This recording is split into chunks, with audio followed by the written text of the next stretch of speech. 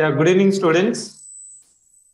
So today uh, we are having very special session on how to prepare current affairs. The session will be handled by our head of the academics, Mr. K. Venkatesh. So he is having very vast experience in competitive exams and uh, he has uh, own experience of competitive exams and he went for group one interview and also uh, civil services examination and other competitive exams and he has been associated with the civic center. And uh, he is uh, central to our civic center uh, in designing the academics program and everything. So we are very glad to have mr venkatesh session on current affairs how to prepare.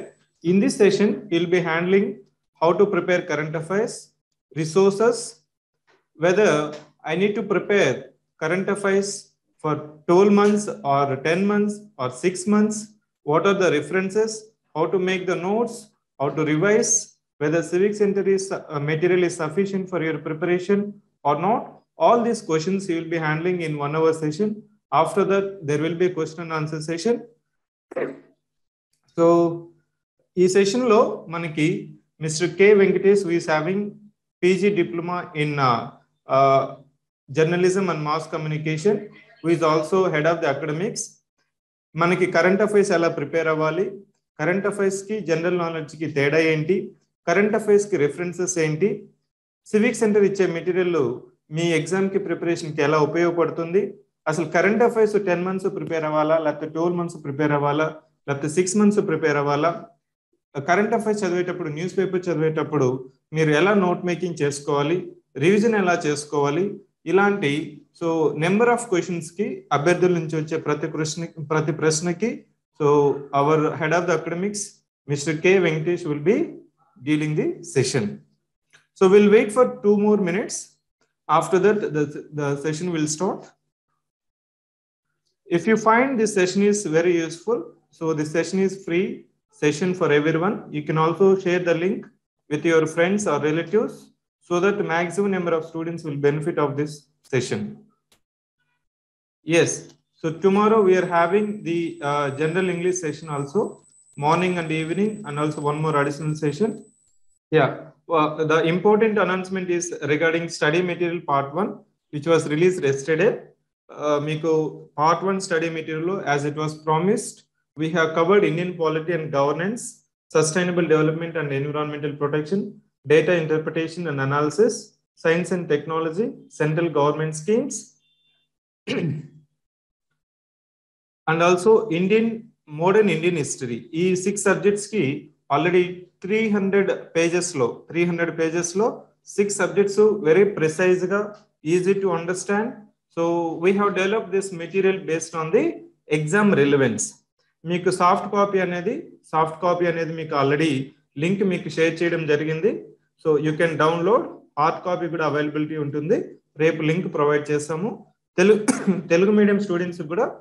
So as we have been promising so Telugu medium team has been streamline so by by sixteenth February we could able to release of all English material in Telugu ఈ రోజు సెషన్లో agenda current అఫైర్స్కి సంబంధించింది. So I request all the students to confine to current affairs మీకు current affairs so మన classes begin చేసినప్పటి నుంచి sir క్లా కరెంట్ అఫైర్స్ ఎలా చదువుకోవాలి? న్యూస్ పేపర్ చదవాలా? న్యూస్ పేపర్ చదవాలా? లేకపోతే కంపైలేషన్స్ సరిపోతుందా? రెండు మూడు న్యూస్ పేపర్లు చదవాలా? లేకపోతే మార్కెట్లో ఉన్న ప్రతి మెటీరియల్ చూసుకోవాలా? సో ఎన్ని మంత్స్ ప్రిపేర్ అవ్వాలి? ఇలాంటి ప్రశ్నలు మన క్లాసెస్ స్టార్ట్ అయినప్పటి నుంచి మీరు అడుగుతూనే వస్తున్నారు. So our head of the academics has put very good effort. So to answer all your questions.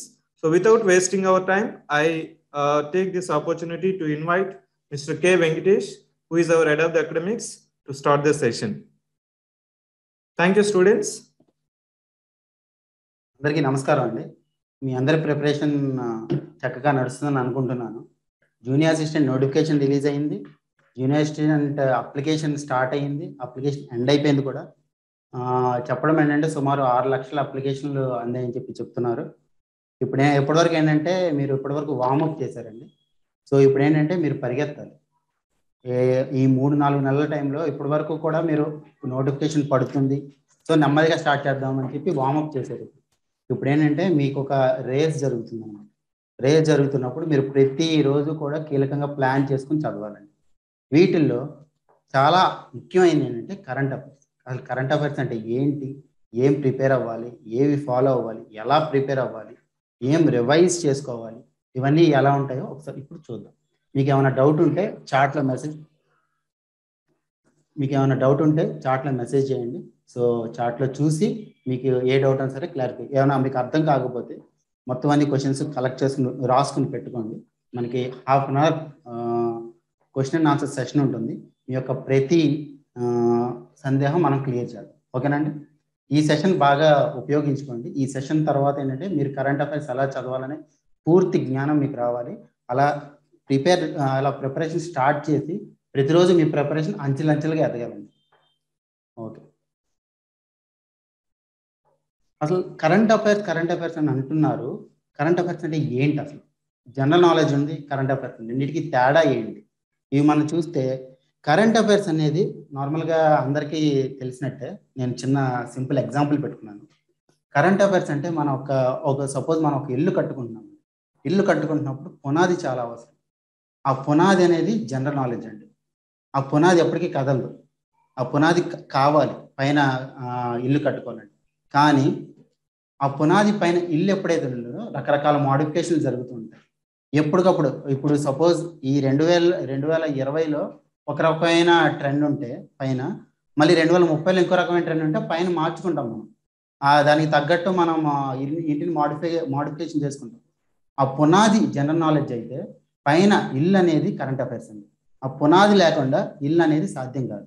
Suppose మీకు ఒక ఎగ్జాంపుల్ తీసుకుని చెప్తే నేను భారతదేశానికి ప్రధానమంత్రి అధ్యక్షతన మంత్రివర్గం ఉంటుంది. మన ఏంటంటే మన పాలిటీలో చదువుకుంటాం. ఇది ఏంటంటే జనరల్ నాలెడ్జ్ మనకు ఒక రాజ్యాంగం ఉంది. రాజ్యాంగంలో ఏంటి? ప్రధానమంత్రి మరియు మంత్రివర్గం గురించి చెప్పారు. క్లియర్గా చెప్పారు. అదేంటి? జనరల్ నాలెడ్జ్ అది. అంటే ఎప్పటికీ మారదు అది. అదే మనకి ప్రస్తుత ప్రధానమంత్రి ఎవరు? ప్రస్తుత ప్రధానమంత్రి ఎవరు? అనేది కరెంట్ అఫైర్ అండి. మీకు ఇక్కడ మెయిన్ ఇంపార్టెంట్ ఏంటంటే ప్రస్తుత అనేది ఇంపార్టెంట్ ప్రస్తుతాన్ని సూచించేది కరెంట్ అఫైర్స్ అండి.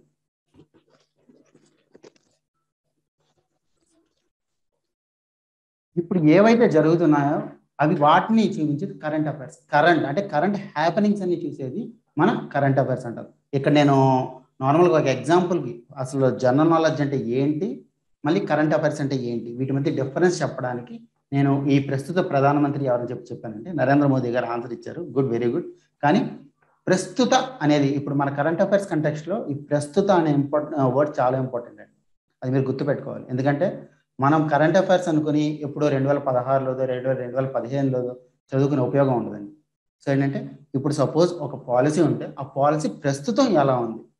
ఇప్పుడు సపోజ్ ఒక ఒక ఆర్టికల్ ఉంటే ఆర్టికల్ ప్రస్తుతం ఏ అమెండ్మెంట్ జరిగి ప్రస్తుతం ఎలా ఉంది? అలాంటివన్నీ కూడా మనకి కరెంట్ అఫైర్స్ కిందకి వస్తాయండి. ఇప్పుడు సపోజ్ మనకి ఒలింపిక్స్ అనేది తెలుసు. ఒలింపిక్స్ అండ్ ఒలింపిక్స్ గురించి తెలుసుకోవడం అనేది జనరల్ నాలెడ్జ్ కానీ ప్రస్తుత ఒలింపిక్స్ గురించి తెలుసుకోవడం అనేది కరెంట్ అఫైర్స్. మీకు డిఫరెన్స్ అర్థమైందని నేను అనుకుంటున్నాను. ఈ కరెంట్ అఫైర్స్ మనకి ఎందుకు అంత ఇంపార్టెంట్ ఎగ్జామ్కి? నార్మల్గా ఒక నిమిషం అండి. వాయిస్ నా వాయిస్ క్లియర్గా ఉందండి వాయిస్ క్లియర్గా లేదని చెప్తున్నారు. ఒకసారి ఏమన్నా ఒకసారి మెసేజ్ చేయండి వాయిస్ క్లియర్గా ఉందో లేదో. Please type yes if at all it is clear okay okay thank you అండి. ఇటు సైడ్ నుంచి వాయిస్ క్లియర్గా ఉంది ఒకసారి మీ సైడ్ నుంచి చూడండి. ఓకేనా? రైట్. Hmm. అసలు ఈ కాంపిటేటివ్ ఎగ్జామ్స్కి కరెంట్ అఫైర్స్ అనేది ఎందుకు అంత ఇంపార్టెంట్? ఒక ప్రభుత్వ ఉద్యోగాన్ని అతనికి కొంచెం ఒక జ్ఞానం ఉండాలి. ఏంటంటే ఒక సొసైటీ మీద అంచనా ఉండాలి. ఆ సొసైటీ ఏంటిది? ఒక పాలిటీ కానీ రాజ్యాంగం గురించి కానీ లేకపోతే ఆర్థికపరమైన విషయాలు లేకపోతే ఆ భౌగోళిక అంశాలు ఇవన్నీ కూడా కొంచెం తెలియాలి. ఈ తెలియాలంటే ఇప్పుడు పంతొమ్మిది వందల డెబ్బైలో ఉన్న తెలుసుకుని ఏం లాభం అండి ఒక ప్రభుత్వ అధికారికి ప్రభుత్వ అధికారికి ప్రస్తుతం భౌగోళికంగా ఏ మార్పులు జరుగుతున్నాయి? ప్రస్తుతం రాజ్యాంగంలో ఎలాంటి హక్కులు ఎలాంటి విధులు ఉన్నాయి ప్రస్తుతం ఆర్థిక పరిస్థితి ఎలాగా ఉంది? అవన్నీ కలిపి కరెంట్ అఫైర్స్ అంటారండి. కరెంట్ అఫైర్స్ అనేది ఇండివిజువల్ టాపిక్ కాదండి. కరెంట్ అఫైర్స్ అనేది ప్రతి ప్రతి సబ్జెక్ట్లోనూ కరెంట్ అఫైర్స్ సెపరేట్గా ఉంటుంది. అలాగే కరెంట్ అఫైర్స్ సెపరేట్గా ఉండేవి ఏంటంటే అంటే ఇప్పుడు ఏ సబ్జెక్ట్ పాలిటీ ఉంది హిస్టరీ ఉంది ఎకానమీ ఉంది జాగ్రఫీ ఉంది. ఇవన్నీ కాకుండా కూడా కరెంట్ అఫైర్స్ ఉంటాయండి. ఎలాంటివి? ఒలింపిక్స్ ఒలింపిక్స్ క్రీడల్లోకి వస్తుంది. ఆ క్రీడలు వదిలేస్తామా మనం? కాదు కదా. ఆ క్రీడలు ఏంటంటే మనకి కరెంట్ అఫైర్స్లోకి వస్తుంది. ఆ క్రీడలు కూడా ఇంపార్టెంట్ అండి వీటిలో. ఇప్పుడు మనం చూసి ఈ ఎగ్జామ్ ప్రస్తుతం ఈ ఎగ్జామ్ చూస్తున్నట్టయితే మనం కరెంట్ అఫైర్స్ ఎంత ఇంపార్టెంట్ అనేది చూద్దాం ఒకసారి. ఇది సబ్జెక్ట్ వెయిటేజ్ అండి. ఒకసారి మీరు చూసినట్టయితే కరెంట్ అఫైర్స్లో మేము అంటే మేము సుమారు నాలుగు వేల నుంచి నాలుగు వేల ఐదు వందల క్వశ్చన్లు చూసాం అంటే ముప్పై ఐదు క్వశ్చన్ పేపర్స్ మేము తిరిగేసాం. ప్రీవియస్గా జరిగిన ఎగ్జామ్స్ జూనియర్ అసిస్టెంట్ మళ్ళీ జూనియర్ అసిస్టెంట్ సమస్థాయి ఎగ్జామ్లన్నీ కూడా మేము తిరగేసాం. వాటిల్లో అసలు ఎన్ని క్వశ్చన్స్ కరెంట్ అఫైర్స్లో ఇచ్చారు? ఎన్ని క్వశ్చన్స్ పాలిటీలో ఇచ్చారు? జనరల్ సైన్స్లో ఎన్ని క్వశ్చన్స్ అవన్నీ చూస్తే మనకి పదిహేను శాతం కరెంట్ అఫైర్స్ నుంచి వచ్చినాయండి. ఇప్పుడు ఒకటి రెండు శాతం కాదండి పదిహేను శాతం కరెంట్ అఫైర్స్ నుంచి వచ్చింది. సో అది ఎంత ఇంపార్టెంటో మీకు అర్థమై ఉంటుంది. ఇప్పుడు కరెంట్ అఫైర్స్ ప్రిపేర్ అవడం ఎలాగా అనే క్వశ్చన్ ఉంటే మీకు ఏ సబ్జెక్ట్ అయినా కరెంట్ అఫైర్స్ అయినా పాలిటీ అయినా హిస్టరీ అయినా ప్రీవియస్ ఇయర్ క్వశ్చన్ పేపర్స్ అంటే మునుపటి సంవత్సర ప్రశ్నలే మీకు బైబిల్ కానీ ఖురాన్ కానీ భగవద్గీత ఎందుకు ప్రీవియస్ ఇయర్ క్వశ్చన్స్ అంత ఇంపార్టెంట్ అంటే ఇప్పుడు సపోజ్ మీరు ఒక రూట్లో వెళ్తున్నారండి విశాఖపట్నం టు విజయవాడ బండి మీద వెళ్తున్నారు అనుకోండి ముందు ఇదివరకు ఎప్పుడైనా వెళ్ళుంటే ముందు ఇదివరకు ఆ రూ ఆ రూట్లో ఎప్పుడైనా వెళ్ళుంటే నెక్స్ట్ వెళ్ళేటప్పుడు మీకు చాలా ఈజీ అవుతుందండి. అదే మీరు ఫస్ట్ టైం వెళ్తున్నట్టయితే ఆగి మ్యాప్ చూసుకోవాలి లేకపోతే పక్క వాళ్ళని అడగాలి లేకపోతే కొంచెం ఆగి చూసుకుని చూసుకుని వెళ్ళాలి. అదే ముందు వెళ్ళినట్టయితే అది మీకు ఈజీగా ఉండదు సో మీకు ఏదైనా ఒక ఎగ్జామ్ ప్రిపరేషన్కి ప్రీవియస్ ఇయర్ క్వశ్చన్స్ అనేవి మీకు మార్గం సుగమం చేస్తాయండి. అంటే పూర్తిగా మీకు దాన్ని దరి చేర్చు కానీ దరి చేసే ఒక మార్గదర్శకం ఇస్తాయి. ప్రీవియస్ ఇయర్ క్వశ్చన్ పేపర్ అనేది అంత ఇంపార్టెంట్ అండి. మీకు జూనియర్ అసిస్టెంట్ అనే కాదు. Group one group two UPSC ఆఖరికి ఏ ఎగ్జామ్ అయినా ఆఖరికి ఫారెన్ వెళ్ళడం రాసే హైలైట్స్ ఇవన్నీ కూడా ప్రీవియస్ క్వశ్చన్ పేపర్స్ అనేవి చాలా ఇంపార్టెంట్ అండి. అది మీరు ఒక్కటి గుర్తు పెట్టుకుని మీరు ఏ ఎగ్జామ్ ప్రిపేర్ అయినా previous year question paper start చేసి దాని నుంచి ప్రిపరేషన్ మొదలు పెట్టండి. ఇప్పుడు వీటిలో వచ్చేసరికి కరెంట్ అఫైర్స్ ఎన్ని క్వశ్చన్స్ వచ్చాయండి? పదిహేను శాతం. అంటే వందకి పదిహేను క్వశ్చన్లు ఖచ్చితంగా కరెంట్ అఫైర్స్ ఉంటాయండి. అది గుర్తుపెట్టుకోవాలి మీరు. మీ ప్రివ ఇప్పుడు కరెంట్ అఫైర్స్ అన్నారు సార్ మేము దేంట్లోంచి చదువుకోవాలి? అసలు మాకు సోర్సెస్ ఏంటివి? సపోజ్ అంటే ఇప్పుడు నోటిఫికేషన్ పడింది అప్లికేషన్ డేట్ అయిపోయింది అందరూ కూడా మంచి వేడి మీద ఉండి ప్రిపరేషన్ స్టార్ట్ చేశారు. ఇప్పుడు మీరు కరెంట్ అఫైర్స్ అంటే ఏం? ఇప్పుడు మీరు కరెంట్ అఫైర్స్ న్యూస్ పేపర్లో చదివి న్యూస్ పేపర్ నోట్స్ రాసుకుని అది అంత దూరం మీకు అంత టైం ఉండదు. ఇప్పుడు ప్రిపరేషన్ స్టార్ట్ చేసిన వాళ్ళు. అదే ఫోర్ మంత్స్ ముందు మీరు ఒకవేళ ప్రిపరేషన్ స్టార్ట్ చేయాలి లేకపోతే ముందు కొంచెం ఎక్స్పీరియన్స్ ఉండి వార్తాపత్రికలు అంటే న్యూస్ పేపర్ చదవడం ఇంట్రెస్ట్గా ఉంటే మీరు మీకు చాలా ఈజీ అవుతుందండి కరెంట్ అఫైర్స్ ఫాలో అవ్వడం న్యూస్ పేపర్స్ చదువుకుంటారు. అసలు నోట్స్ ఎలా చేసుకోవాలని ముందు కూడా చెప్తానండి నేను. మీరు ముందే ప్రిపరేషన్ స్టార్ట్ చేసినట్టయితే అంటే నోటిఫికేషన్కి ఒక నాలుగు నెలల ముందు మీరు ప్రిపరేషన్ స్టార్ట్ చేసినట్టయితే మీరు ఏదైతే న్యూస్ పేపర్ అది చదువుతున్నారో అంటే మూడు నాలుగు న్యూస్ పేపర్స్ ఎప్పుడు తిరగకూడదండి ఒక న్యూస్ పేపర్ ఆ న్యూస్ పేపర్ దీర్ఘంగా చదవండి. ఒక న్యూస్ పేపర్ నీట్గా చదివి దాన్ని నోట్స్ ప్రిపేర్ చేసుకుంటే అంతకు మించిన మన కరెంట్ అఫైర్స్ బయటకి ఎక్కడికి వెళ్ళవండి. అదే మీరు ఇప్పుడు ప్రిపరేషన్ స్టార్ట్ చేసినట్టయితే మీకు ఇప్పుడు మా ఇన్స్టిట్యూటే కాదు చాలా ఇన్స్టిట్యూట్స్ ఏంటంటే monthly current affairs daily current affairs start చేసే. జూనియర్ అసిస్టెంట్కి సరిపడే కరెంట్ అఫైర్స్. మీరు group one group two UPSC ఆ మంత్లీ మ్యాగజైన్స్ చదివితే మీకు ఉపయోగం ఉండదు.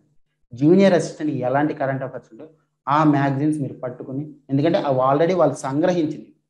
సో మీకు టైం తక్కువ ఉంది కాబట్టి వాళ్ళు చేసిన వర్క్ని మీరు యూజ్ చేసుకుని అక్కడి నుంచి మీరు స్టార్ట్ చేయండి. ఎందుకంటే ఇప్పుడు ఒక న్యూస్ పేపర్ చదవడం అనేది చాలా ఈజీ ఈజీ కాదండి. దానికంటూ ఒక అదొక హ్యాబిట్లో ఫామ్ అవ్వాలి. న్యూస్ పేపర్ చదవడం అనేది. ఆ న్యూస్ పేపర్ చదవడం హ్యాబిట్గా ఫామ్ అయితే అది ఒక వ్యసనంలో మారిపోతుంది న్యూస్ పేపర్ చదవడం అనేది. అర్థమవుతుందండి? సో ఇప్పుడు కానీ మీరు ప్రిపరేషన్ స్టార్ట్ చేస్తే న్యూస్ పేపర్ నార్మల్గా చూడండి. న్యూస్ పేపర్ చూడడం. కానీ న్యూస్ పేపర్ ఆధారంగానే మీరు ప్రిపేర్ అవ్వడం అంత సజెస్టబుల్ కాదండి. ఓకేనా? ఎంత టైం అంటే ఇప్పుడు న్యూ సార్ కరెంట్ అఫైర్స్ అన్నారు ప్రస్తుతం జరిగాయి అన్నారు. ప్రస్తుతం అంటే పరీక్షకు ముందు ఎన్నాళ్ళు చదవాలి సార్ మేము? నార్మల్గా ఏ ఎగ్జామ్కైనా అంటే రెగ్యులర్గా పడే exam let's UPSC or let's bank exams. Bank exams ఏంటంటే ఎవ్రీ ఇయర్ పడుతుంది ఎవ్రీ ఇయర్ పడుతున్నప్పుడు వాటికి ఏ కరెంట్ అఫైర్స్ చదువుకోవాలి? సిక్స్ మంత్స్ అంటే నోటిఫికేషన్ రావడానికి సిక్స్ మంత్స్ ముందు కరెంట్ అఫైర్స్ మొత్తం తిరగేయాలండి. ఆ సిక్స్ మంత్స్లోను నోటిఫికేషన్ ముందు మూడు నెలలు చాలా ఇంపార్టెంట్ అండి. అప్పుడు జరిగేవి. ఇప్పుడు ఈ ఇది ఫిబ్రవరి కదండి. ఫిబ్రవరి కాబట్టి జనవరిలో కానీ డిసెంబర్ కానీ నవంబర్ కానీ ఈ మూడు కూడా చాలా ఇంపార్టెంట్ అండి. అదే ఒక నోటిఫికేషన్ మూడు నాలుగేళ్ళకి ఒకసారి వస్తుంది అనుకోండి సపోజ్ మన ఏపీఎస్సి ఎలా ఉందంటే కొంచెం నోటిఫికేషన్ లేట్ అవుతున్నాయి. రెగ్యులర్ నోటిఫికేషన్ ఉండడం లేదు. అలాంటి టైంలో ఎలా చదవాలి? ఎందుకంటే ఇప్పుడు సపోజ్ ఒక సిటిజన్షిప్ అమెండ్మెంట్ యాక్ట్ ఉందండి. ఆ సిటిజన్షిప్ అమెండ్మెంట్ యాక్ట్ రెండు వేల ఇరవై ఒకటిలో కొంచెం చాలా ఎక్కువ న్యూస్లో ఉంది. అది ముందు ఆరు నెలలు ఉండకపోవచ్చు కానీ చాలా ఇంపార్టెంట్ టాపిక్. అందువల్ల ఏంటంటే మీరు పది నెలలు కవర్ చేసుకోవాలండి ఖచ్చితంగా. పది నెలలు కవర్ చేసుకుంటే మీకు చాలా ఉపయోగపడుతుంది. ఆ అవగాహన ఉండాలి. అంటే ప్రతి ఒక్కటి కం కంఠస్థం అవ్వక్కర్లేదండి. కానీ పది నెలల గురించి అవగాహన ఉండాలండి. అవగాహన ఉండాలి. ఆరు నెలలు ఖచ్చితంగా మీకు ప్రతిదీ అంటే ఏవైతే ఇంపార్టెంట్ ఉంటాయో అవి తెలిసి ఉండాలండి. ఓకేనా? ఓకే. నెక్స్ట్ వచ్చేసరికి నోట్స్ గురించి అండి సార్ నేను ఒక న్యూస్ పేపర్ రోజు చదువుతున్నాను కానీ నాకు చదివింది ఏది గుర్తుండట్లేదు సార్ సార్ నేను ఏ ప్రతిదీ కరెంట్ అఫేర్స్ చదువుతున్నాను నాకు ఒక్కటే గుర్తుండట్లేదు సార్ ప్రతిరోజు ఒక ముప్పై ఉంటాయి అలా నెల గడిచేసరికి తొమ్మిది వందలు ఉంటాయి నేను ఎలా సార్ గుర్తుపెట్టుకోవడం సార్ ప్రతిదీ అట్లా మీరు ఒక గవర్నమెంట్ ఎగ్జామ్కి ప్రిపేర్ అవుతున్నారు అంటే మీరు ఒక గవర్నమెంట్ ఎగ్జామ్కి ప్రిపేర్ అవుతున్నారు అంటే మీకు నోట్స్ అనేది ఖచ్చితంగా నోట్స్ అనేది ఖచ్చితంగా ప్రిపేర్ చేసుకోవడం ఉండాలండి. ఆ నోట్స్ ఎలా ప్రిపేర్ చేసుకోవాలి? ఈ ఎగ్జామ్కి అంటే కరెంట్ అఫైర్స్ అనే నోట్స్ ఎలా ప్రిపేర్ చేసుకోవాలి? ఇప్పుడు సపోజ్ ఇవాళ నరేంద్ర మోదీ గారు రష్యా వెళ్ళినారు. రష్యా వెళ్ళి అక్కడ ఏదో ఒక అగ్రిమెంట్ చేసుకున్నారు. అది ఇవాళతో అయిపోదు కదండి. దాని గురించి మూడు నాలుగు సార్లు న్యూస్లో మూడు నాలుగు ఎగ్జామ్ జరిగేలోపు మూడు నాలుగు సార్లు న్యూస్లో ఉంటుంది. సో మీరు ఒక బుక్లో రాసుకున్నారు అనుకోండి రష్యా వెళ్ళడం గురించి ఫస్ట్ ఇక్కడ రాస్తారు. మళ్ళీ ఒక యాభై పేజీల తర్వాత మళ్ళీ అక్కడ రాస్తారు. మళ్ళీ వంద పేజీల తర్వాత మళ్ళీ ఇంకోసారి రాస్తారు. ఒకనొక టైంలో ఏంటంటే అది ఇంపార్టెంట్ టాపిక్ కాకపోవచ్చు మీకు. అలా కాదండి. నోట్స్ ఎలా చేసుకోవాలి అంటే మీరు ఒక టాపిక్ నోట్స్ చేసుకున్నప్పుడు లూజ్ పేపర్ అంటే సపోజ్ ఒక ఏ ఫోర్ షీట్ తీసుకోండి. ఈ ఏ ఫోర్ షీట్ తీసుకుంటే ఏ ఫోర్ షీట్ మీద రాసుకోండి మీరు. సపోజ్ ఇప్పుడు నేను నరేంద్ర మోదీ గారు రష్యా వెళ్ళారు. ఇక్కడ రాసుకున్నాను నేను. సపోజ్ ఒక వన్ మంత్ తర్వాత ఆ అగ్రిమెంట్ యొక్క నెక్స్ట్ అంటే నెక్స్ట్ స్టెప్ పడింది. దాన్ని దాని కింద రాసుకుంటాను. సపోజ్ ఇది సరిపోలేదు. దానికి ఇంకో పేజ్ తీసుకొచ్చి దీనికి అటాచ్ చేస్తాను. నేను ఒక ఫైల్ మెయింటైన్ చేసుకుంటాను స్టిక్ ఫైల్ మెయింటైన్ చేసుకుంటాను అప్పుడు ఏంటి ఇప్పుడు ఒక టాపిక్ ఉంటే ఆ టాపిక్లో లాస్ట్ ఫోర్ ఫైవ్ మంత్స్లో ఏం జరిగాయి అనేది నాకు క్లియర్ ఐడియా ఉంటుంది. ఒక టాపిక్ ఎంత ఇంపార్టెంట్ అనేది క్లియర్గా తెలుస్తుంది. సపోజ్ ఇప్పుడు ఒలింపిక్ గేమ్స్ జరిగినాయి. ఒలింపిక్ గేమ్స్ ఒకసారి జరిగినాయి. ఓకే అదంతా ఒక చోట రాశారు. చాలా బాగుంది. అదే నేను చెప్పినట్టు ప్రధానమంత్రి నరేంద్ర మోదీ గారి ఒక రష్యా వెళ్ళారు లేకపోతే అమెరికా వెళ్ళారు. ఆ డీల్ జరిగింది. అది ఒకసారి అయిపోయేది కాదు. ఒక ఐదారు సార్లు రిపీట్ అయింది అనుకోండి. ఈ ఎగ్జామ్ జరిగేలోపు ఐదారు సార్లు రిపీట్ అయితే ఐదారు పాయింట్లు వస్తాయి. ఐదారు పాయింట్లు ఎక్స్ట్రా వస్తాయి. ఇప్పుడు ఒక పాయింట్ ఉంది ఒక్క రోజుదే ఉంది. అదే ఐదారు పాయింట్లు ఉన్నాయి. ఐదారు సార్లు ఆ న్యూస్లో ఉంది. అప్పుడు ఏది ఇంపార్టెంట్ అవుతుందండి? ఐదారు సార్లు న్యూస్ ఉంటే అదే కదండి ఇంపార్టెంట్ అయ్యేది. సో ఆ టాపిక్స్ ఎక్కువ పట్టుకుంటే మీకు రివిజన్ ఈజీగా అయిపోతుంది కదండి. సో ఈ టెక్నిక్ ఫాలో అవ్వండి. ఏంటిది? నోట్స్ ఎప్పుడైనా ప్రిపేర్ చేసుకునేటప్పుడు లూజ్ పేపర్స్ అంటే లూజ్ పేపర్స్ మీద ప్రిపేర్ చేసుకుని ఒక ఫైల్ చేసుకోండి. స్టిక్ ఫైల్ ఏదో ఒకటి. మీకు ఏదైతే వీలవుతుంది. ఫైల్ చేసుకున్నప్పుడు నెక్స్ట్ దాని కంటిన్యూషన్ ఏంటంటే దాని కంటిన్యూషన్గా అయితే పేపర్ అటాచ్ చేయొచ్చు. లేకపోతే దీని కంటిన్యూషన్గా రాసేయచ్చు. దీనివల్ల ఏమవుతుందంటే మీకు ఒక టాపిక్ ఎంత ఇంపార్టెంటో అది క్లియర్గా అర్థమవుతుంది. మీకు టాపిక్ ఇంపార్టెంట్ అవ్వడం చాలా ఇంపార్టెంట్ అండి. ఎందుకంటే మీరు ఒక టాపిక్ ఇంపార్టెంట్ అనేది తెలుసుకుంటే రివిజన్ అనేది చాలా ఈజీ అయిపోతుంది. అందుకో అందుకోసం మీరు లూజ్ పేపర్స్ మీద ట్రై చేయండి ఒకసారి. నెక్స్ట్ సార్ నేను ఇప్పుడే స్టార్ట్ చేశాను. మన న్యూస్ పేపర్ న్యూస్ పేపర్ చదవాలైతే నోట్స్ రాసుకోవాలి. కానీ నేను ఎలా సార్? ఎందుకంటే మీరు ఎలాగంటే లాస్ట్ టెన్ మంత్స్వి కరెంట్ అఫైర్స్ ఆల్రెడీ మంత్లీ కంపైలేషన్లు ఉన్నాయండి. డైలీ కంపైలేషన్లు ఉన్నాయి. వీక్లీ కంపైలేషన్లు ఉన్నాయి. అవి చదవండి. చదివి మీరు రిలేట్ చేసుకోగలగాలి. ఓకే జనవరి నెలలో ఈ టాపిక్ ఉంది. దానికి ఫిబ్రవరి నెలలో కూడా దాని కంటిన్యూటీ టాపిక్ ఉంది. అవి రిలేట్ చేసుకుని మీరు చదవాలండి. అప్పుడు మీకు ఈజీ అవుతుంది. అర్థమవుతుందా? ఎందుకంటే ఇప్పుడు మీరు ప్రిపరేషన్ స్టార్ట్ చేసింది ఇప్పుడే. ఇప్పుడే అంటే కొత్తగా స్టార్ట్ చేశారు. మీకు కొంచెం ఎగ్జామ్కి సరిపడంత చదవాలి. ఎగ్జామ్కి పూర్తిగా సన్నద్ధం అవ్వాలి. సన్నద్ధం అవ్వకుండా ఎగ్జామ్ హాల్లోకి వెళ్ళకూడదు. సో ఈ మంత్లీ కంపైలేషన్ గత పది నెలల్లో ఒకసారి చూసుకొని అది చదివితే మీకు ఉపయోగపడుతుందండి. ఓకేనా? సార్ చదివింది ప్రతిదీ గుర్తుపెట్టుకోవాలి? నేను ఇప్పుడు చెప్పినట్టు వార్తాపత్రిక చదివే వాళ్ళు మీరు నోట్స్ రాసుకోండి. నోట్స్ రాసుకుంటే ఒక టాపిక్లో ఐదారు పాయింట్లు ఉంటాయి. ఒక టాపిక్లో ఒక పాయింట్ ఉంటుంది. ఐదారు టాపిక్ ఐదారు పాయింట్లు ఉంది ఇంపార్టెంట్. సో ఒక పాయింట్ ఉంది కొంచెం లెస్ ఇంపార్టెంట్ కాబట్టి దానికి అంత ప్రాముఖ్యత అవసరం లేదు. ఐదారు పాయింట్లు ఉంది రెండు రెండు మూడు సార్లు రివిజన్ చేసుకోవాలి. అదే కరెంట్ అఫైర్స్ సంగ్రహాలు అంటే కరెంట్ అఫైర్స్ మ్యాగజైన్స్ చదివే వాళ్ళు ఏదైతే చదువుతున్నారో అవి కొంచెం రిలేట్ చేసుకోవడానికి ట్రై చేయండి. ఎందుకంటే ఇండెక్స్ ఉంటుంది. ప్రతి మంత్లీ కంపైలేషన్ ఇండెక్స్ ఉంటుంది. ప్రతి మంత్లీ కంపైలేషన్లో ఒక ముప్పై టాపిక్లు ఉంటాయి. నెక్స్ట్ మంత్ ముప్పై ఉంటాయి. ఇండెక్స్లు పక్కన పెట్టుకుని చూడండి. ఓకే ఈ టాపిక్ మళ్ళీ రిపీట్ అయిందా? ఈ టాపిక్ మళ్ళీ రిపీట్ అయిందా? సో రిపీట్ అయినాక రిపీట్ అయినట్టయితే మీరు అది ఇంపార్టెంట్ అనుకోండి. మీకు ఏమైనా అర్థం కాకపోయినా లేకపోతే ఒక స్లోగా వెళ్తున్నా చాట్ బాక్స్లో మెసేజ్ చేయండి. నేను చూస్తున్నాను. చూసి నన్ను నేను కరెక్ట్ చేసుకుంటాను. ఓకేనా? రైట్ సో కొన్ని కొన్ని చాలా ఇంపార్టెంట్ ఇష్యూస్ ఉంటాయండి. ఆ ఇంపార్టెంట్ ఇష్యూస్ ఒకసారి చూద్దాం. మెయిన్ వచ్చేసరికి రివిజన్ ఎఫెక్టివ్గా ఎలా చేయాలి? నేను చెప్పినట్టు ఒకటి పాయింట్ తీసుకుంటే దానికి కంటిన్యూటీ ఉండేటట్టు మీరు నోట్స్ రాసుకోవాలండి. ఒక కరెంట్ అఫైర్స్ అనే కాదు క్వాలిటీ ఉన్న ఏమన్నా అవేంటంటే కొంచెం స్టాటిక్ టాపిక్స్ స్టాటిక్ టాపిక్స్ మీరు నార్మల్ నోట్స్ రాస్తున్న పర్లేదు. కానీ కరెంట్ అఫైర్స్ అనేవి మీ పేపర్లో రాసుకోవడం రివిజన్కి ఎందుకంటే ఒక ఎగ్జామ్కి మీరు కంప్లీట్ సిలబస్ చదవడం ఎంత ఇంపార్టెంటో అంతే ఇంపార్టెంట్ రివిజన్ చేయడం. ఇప్పుడు సపోజ్ మీరు ఒక వంద టాపిక్స్ ఉన్నాయి. వంద టాపిక్స్ ఒకసారి చదివారు. మీకు వంద టాపిక్స్లో ఒక ఇరవై టాపిక్లు కూడా గుర్తుండవు. అదే వంద టాపిక్స్ ఉన్నాయి. మీరు అరవై టాపిక్సే చదివారు. కానీ అరవై టాపిక్స్ రెండు మూడు సార్లు చదివారు. అప్పుడు ఏది ఇంపార్టెంట్ అండి? సో రివిజన్ అనేది అంత ఇంపార్టెంట్ దీనికి. ఒకసారి చూద్దాం. నెక్స్ట్ వచ్చేసరికి ఏపీ కరెంట్ అఫైర్స్ ఎన్ని వస్తున్నాయి? సార్ ఏపీ కరెంట్ అఫైర్స్ ఎంతలా చదవాలి నేను? ఇక్కడ మీరు చూసినట్టయితే మేము మొత్తం కలిపి ఐదు వందల యాభై క్వశ్చన్లు ఉన్నాయండి కరెంట్ అఫైర్స్ మేము పీవైక్యూస్ రిలీజ్ చేసాము మీరు చూడొచ్చు. ఐదారు ఐదు వందల యాభై క్వశ్చన్లు ఉంటే వాటిలో నేషనల్ టాపిక్స్ రెండు వందల ఎనిమిది ఉన్నాయండి. నార్మల్ నేషనల్ టాపిక్స్ అని ఎప్పుడన్నా ఉంటాయి. ఎప్పుడైనా మన దేశంలో జరిగే ప్లీజ్ ప్రొవైడ్ చేసి మన దేశంలో జరిగే ఇంపార్టెంట్ విషయాలు అనేవి ఎక్కువ ఉంటాయి కాబట్టి రెండు వందల ఎనిమిది ఉన్నాయి. అదే ఆంధ్రప్రదేశ్ కరెంట్ అఫైర్స్ చూసుకుంటే యాభై ఐదు ఉన్నాయి. అంటే ఐదు వందల యాభైలో యాభై ఐదు అంటే పది శాతం. పది శాతం అనేది తక్కువ కాదండి. పది శాతం చాలా ఇంపార్టెంట్ సో అది మీరు ఒకసారి అది మీరు ఒకసారి చూసుకోవాలండి. ఆంధ్రప్రదేశ్ కరెంట్ అఫైర్స్ అనేవి. అంటే మీరు ఒక రోజులో ఆంధ్రప్రదేశ్ చూసుకుంటే ఎక్కువ పొలిటికల్ ఉంటాయండి. పొలిటికల్ సార్ నేను చూస్తుంటే ఆంధ్రప్రదేశ్ కరెంట్ అఫైర్స్ చూసి నాకు ఒక్కడు కూడా ఇంపార్టెంట్ అనిపించట్లేదు సార్ ఆ ఇంపార్టెంట్ అనేది ఎలా సెలెక్ట్ చేయాలో నెక్స్ట్ చెప్తానండి. ఆ ఇంపార్టెంట్ అనిపించట్లేదు సార్ ఎలాగా నాకు లేదండి మీరు కొంచెం చూసుకుని చదివితే ఒక ఇన్స్టిట్యూషన్ స్టార్ట్ చేశారు. అది ఇంపార్టెంట్ ఒక పాలసీ స్టార్ట్ చేశారు. అది ఇంపార్టెంట్ సరే ఒక ఓడరే స్టార్ట్ చేశారు. అది ఇంపార్టెంట్ అలాంటివన్నీ కూడా మీరు కొన్ని ఇంపార్టెంట్ చూసుకుంటారు. అదే ఇద్దరు రాజకీయ నాయకులు కొట్టుకున్నారు. లేదు ఒక సినిమా రిలీజ్ అయ్యింది. లేదు ఒక దీన్ని ఏమంటారు? ఒక జిల్లా ఒక ఒక జిల్లాలో రేట్లు తగ్గినాయి. ఏంటి కూరగాయల రేట్లు తగ్గినాయి. సో అవన్నీ ఏంటంటే అప్పుడు తగ్గుతాయి మళ్ళీ పెరుగుతాయి. ఏంటంటే అవి ఇంపార్టెంట్ కాదండి. మీరు ఇంపార్టెంట్ అనేది తెలుసుకోవడం చాలా ఇంపార్టెంట్. అండి next. So Andhra Pradesh current affairs చాలా ఇంపార్టెంట్ అండి. ఎందుకంటే ఇది ఎందుకు చెప్తున్నానంటే ఆంధ్రప్రదేశ్ కరెంట్ అఫైర్స్ అనేవి కూడా ఇంపార్టెంట్. మీరు ఓన్లీ సార్ నేను నేషనల్ ఇష్యూస్ చదువుతాను ఆంధ్రప్రదేశ్ ఏం చదవకపోయినా పర్లేదు అనుకుంటే ఇది అవ్వదండి. ఆంధ్రప్రదేశ్ కరెంట్ అఫైర్స్ కూడా కొంచెం కాన్సన్ట్రేట్ చేయండి. అది పొలిటికల్ కాదండి. ఏవైతే ఇంపార్టెంటో అవి కాన్సన్ట్రేట్ చేయండి. ఇది మెయిన్ ఈ టాపిక్ చూడండి. అసలు సార్ ముఖ్యమైనది అంటే ఒక టాపిక్ ఇంపార్టెంట్ అని మనం ఎలా చేయాలి ఎలా గెస్ట్ చేయాలి? ఒక టాపిక్ ఇంపార్టెంట్.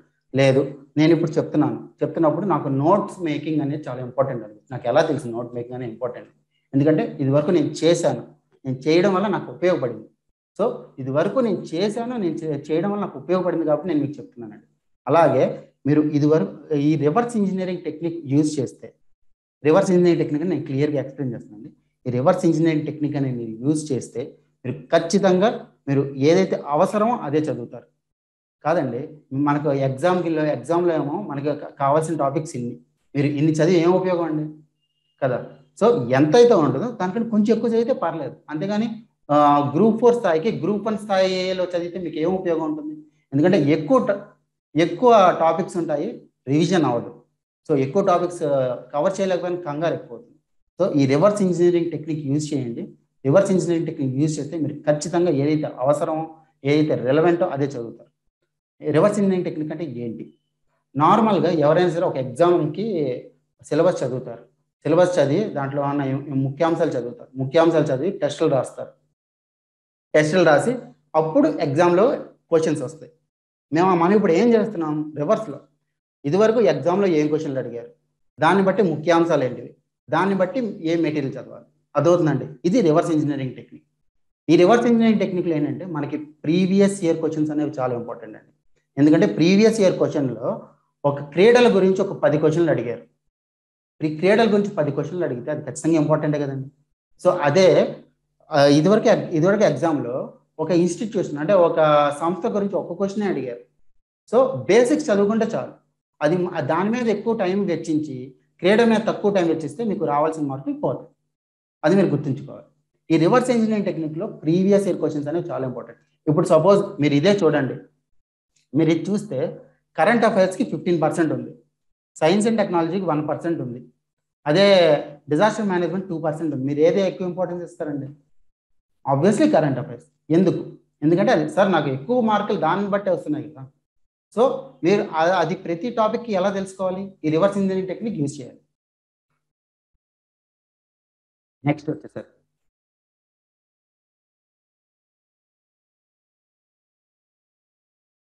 రైట్.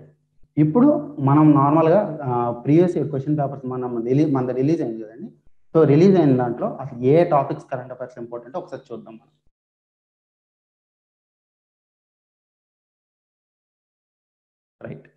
ఈ నేషనల్ అఫైర్స్లో టూ నాట్ ఎయిట్ క్వశ్చన్స్ ఉన్నాయి కదా.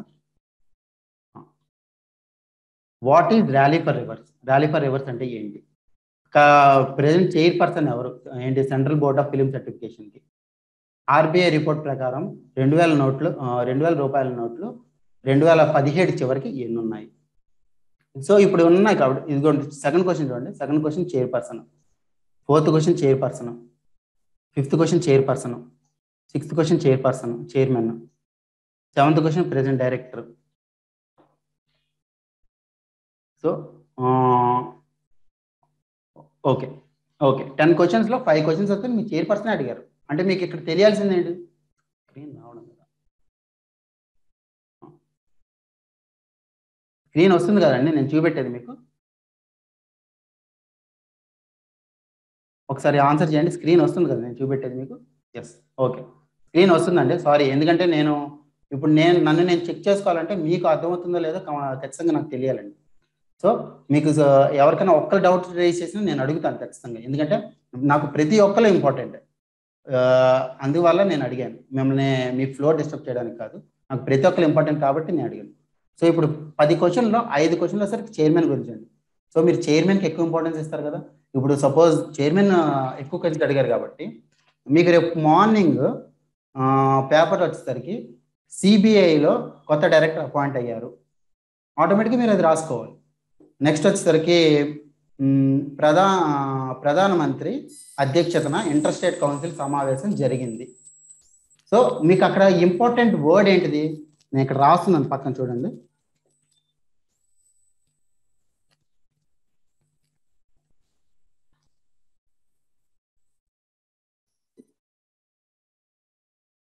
ఇక్కడే రాస్తున్నాను చూడండి.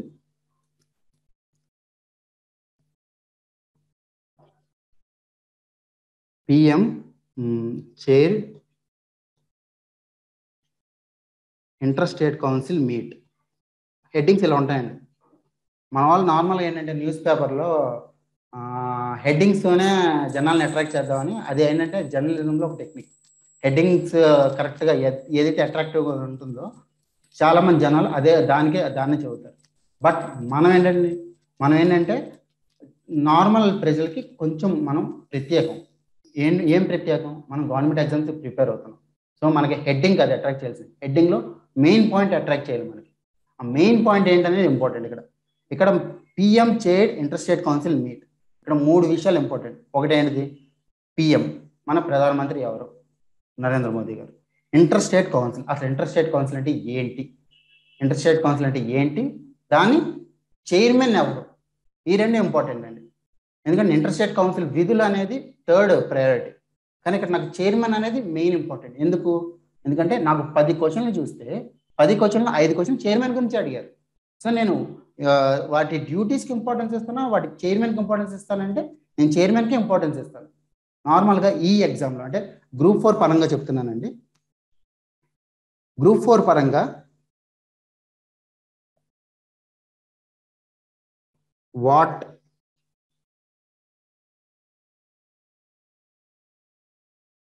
ఇక్కడ ఇక్కడ ఇక్కడ రాస్తే మీకు ఈజీగా అర్థమవుతుంది.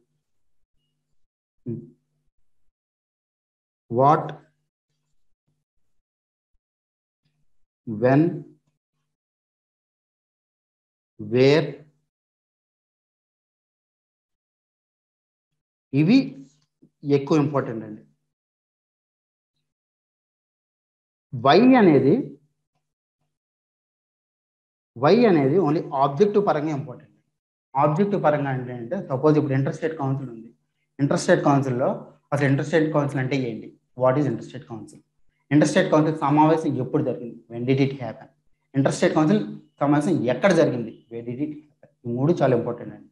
ఇంటర్స్టేట్ కౌన్సిల్ సమావేశం ఎందుకు జరిగింది అనే క్వశ్చన్లు మన దాంట్లో తక్కువ అడిగారు.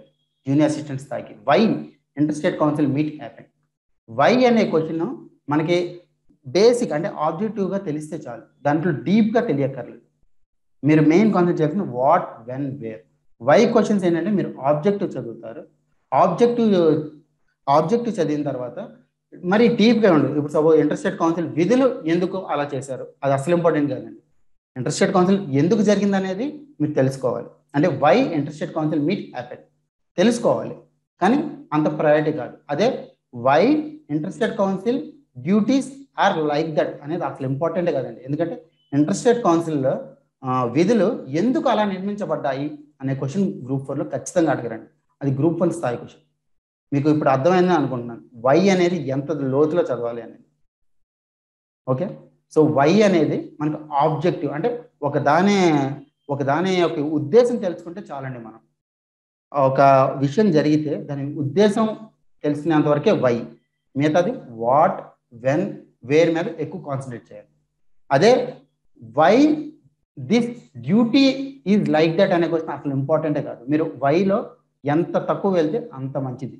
ఓకేనా రైట్ నార్మల్గా లైఫ్లో వై అనే క్వశ్చన్ చాలా ఇంపార్టెంట్ అండి. కానీ ఈ ఎగ్జామ్ పరంగా వై అనే క్వశ్చన్ అంత ఇంపార్టెంట్ కాదు మీరు తెలుసుకోవాల్సింది.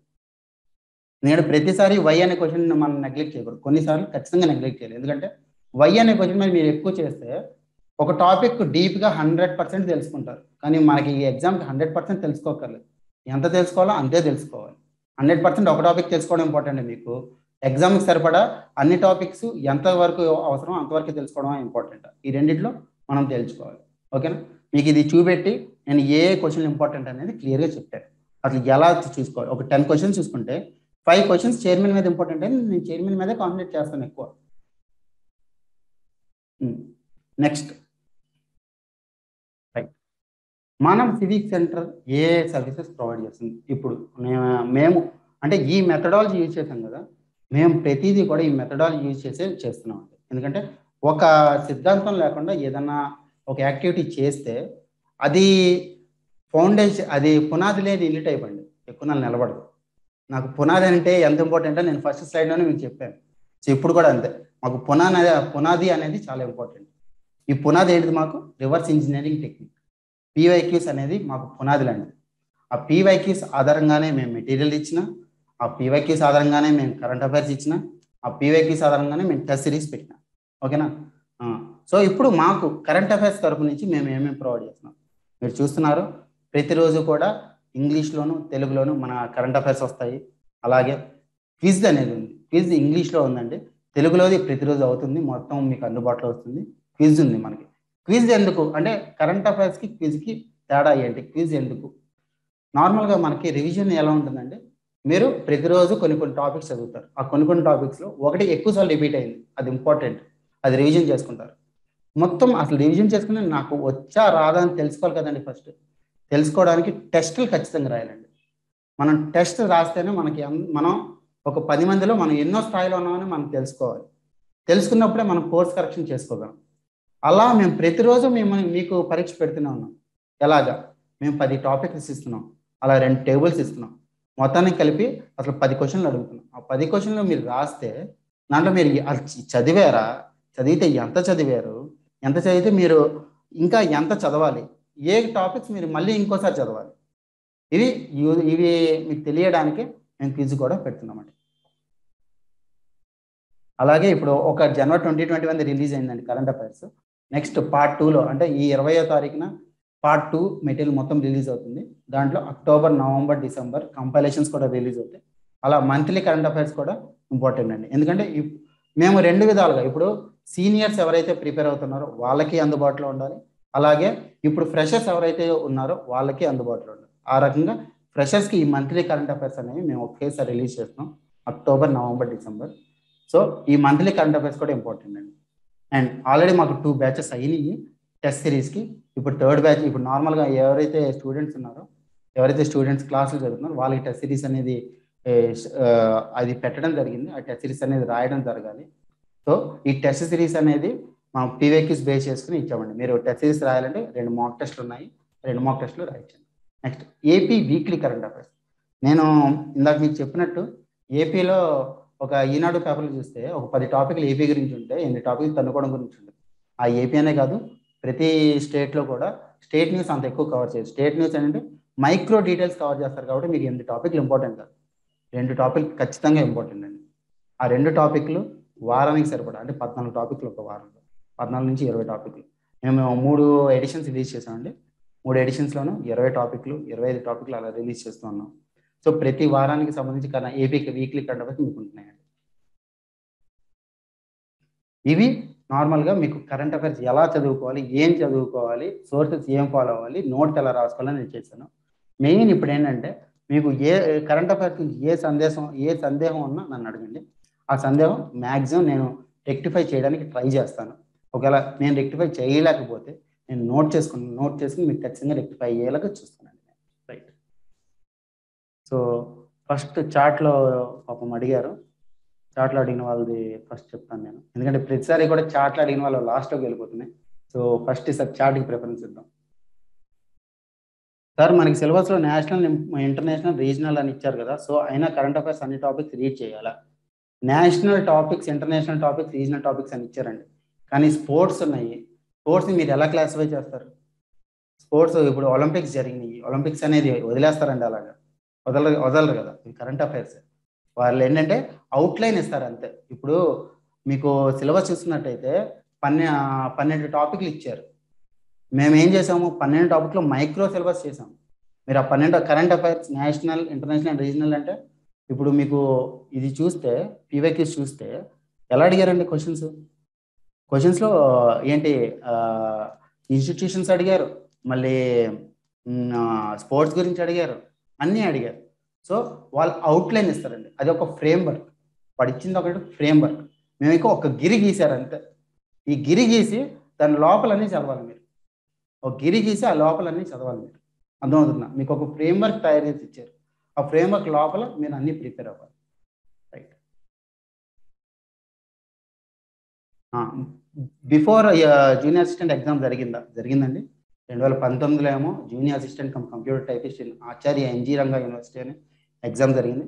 అలాగే రెండు వేల పదిహేడులో junior assistant cum computer assistant in present correctional services. అంటే కారాగార దాన్ని ఏమంటారు? కారాగార సర్వీసులకు సంబంధించి జూనియర్ అసిస్టెంట్ ఎగ్జామ్ కూడా జరిగిందండి. ఈ రెండు జరిగాయి. అలాగే ముందు వచ్చేసరికి రెండు వేల పన్నెండులో ఇంకో ఎగ్జామ్ జరిగింది జూనియర్ సిస్టమ్ సంబంధించి. Okay. Now now questions. First Redmi eight A అండి. నేను అన్మ్యూట్ చేస్తున్నాను మిమ్మల్ని. అన్మ్యూట్ చేసిన తర్వాత మీరు ఒకసారి క్వశ్చన్ అడగండి. రైట్.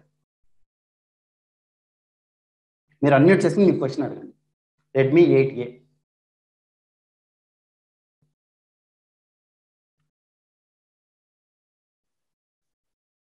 Redmi eight A మీరు చెయ్యి ఎత్తారండి అన్మ్యూట్ చేసుకుని మీకు క్వశ్చన్ అడగండి.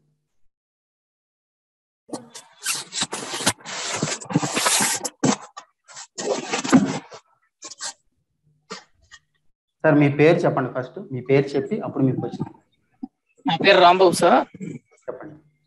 రాంబాబు సార్ నా పేరు. చెప్పండి రాంబాబు గారు. అదే ఆల్రెడీ నేను అది కోచింగ్ అయిపోయింది సార్ ఇక్కడ RC Reddy Vizag.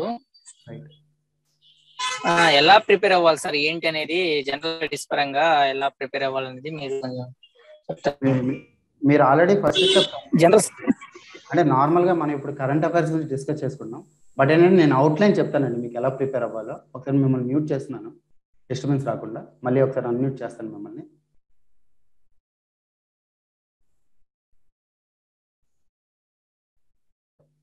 Yeah normally మనం కరెంట్ అఫైర్స్ గురించి డిస్కస్ చేస్తున్నాం. బట్ ఏంటంటే జనరల్ స్టడీస్లో ఆల్రెడీ కోచింగ్ అయిన వాళ్ళు పీవేక్యూస్తో స్టార్ట్ చేయండి. పీవేక్యూస్తో స్టార్ట్ చేస్తే మీకు ఆల్రెడీ అవగాహన ఉంది కాబట్టి ఏ టాపిక్స్ ఇంపార్టెంట్ ఏ టాపిక్స్ అన్ ఇంపార్టెంట్ ఈజీగా గ్రహించవచ్చు. ఒక ఫ్రెషర్కి ఎక్స్పీరియన్స్ అతనికి తేడా ఏంటి అంటే ఫ్రెషర్ అనే అతను ఓకే ఇది ఏ టాపిక్లోకి వస్తుంది అని తెలుసుకోవడానికి టైం పడుతుంది.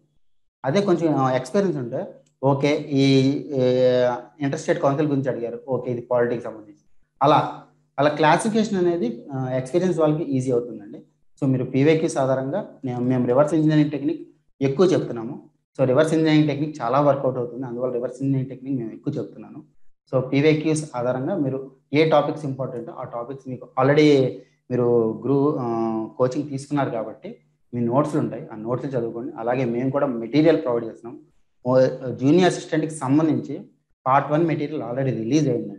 పార్ట్ వన్ మెటీరియల్ రిలీజ్ అయింది ఇంగ్లీష్లో. తెలుగులో కూడా రిలీజ్ అవుతుందండి. ఒక నాలుగు రోజులు తెలుగులో కూడా రిలీజ్ అవుతుంది. సో ఈ మెటీరియల్ ఓన్లీ జూనియర్ అసిస్టెంట్ సంబంధించండి.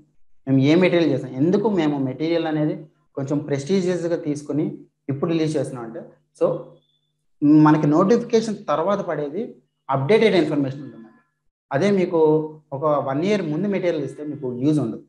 మీకు అప్డేటెడ్ మెటీరియల్ ఇవ్వడానికి మేము నోటిఫికేషన్ తర్వాత మెటీరియల్ రిలీజ్ చేసాం సో ఇప్పుడు ఆరు సబ్జెక్టులు అవైలబుల్ ఉన్నాయి. అలాగే మిగతా సబ్జెక్టులు కూడా అవైలబుల్ ఉంటాయండి రైట్ సార్ మీరు రెడ్మీ ఎయిట్ మీరు హ్యాండ్ తీసినట్లేదండి ఒకసారి. ఓకే రైట్ సార్ మీకు ఇంకేమైనా క్వశ్చన్ ఉందండి సార్ చెప్పండి. హలో సార్ వాయిస్ వినపడుతుందా సార్ క్లియర్గా ఉందండి. చెప్పండి. సార్ ఇప్పుడు మనకి జనరల్ స్టడీస్ అనేది తెలుగు ఇంగ్లీష్ అనేది ఎక్కువ మార్క్స్ వస్తున్నాయి కదా సార్ అవునండి.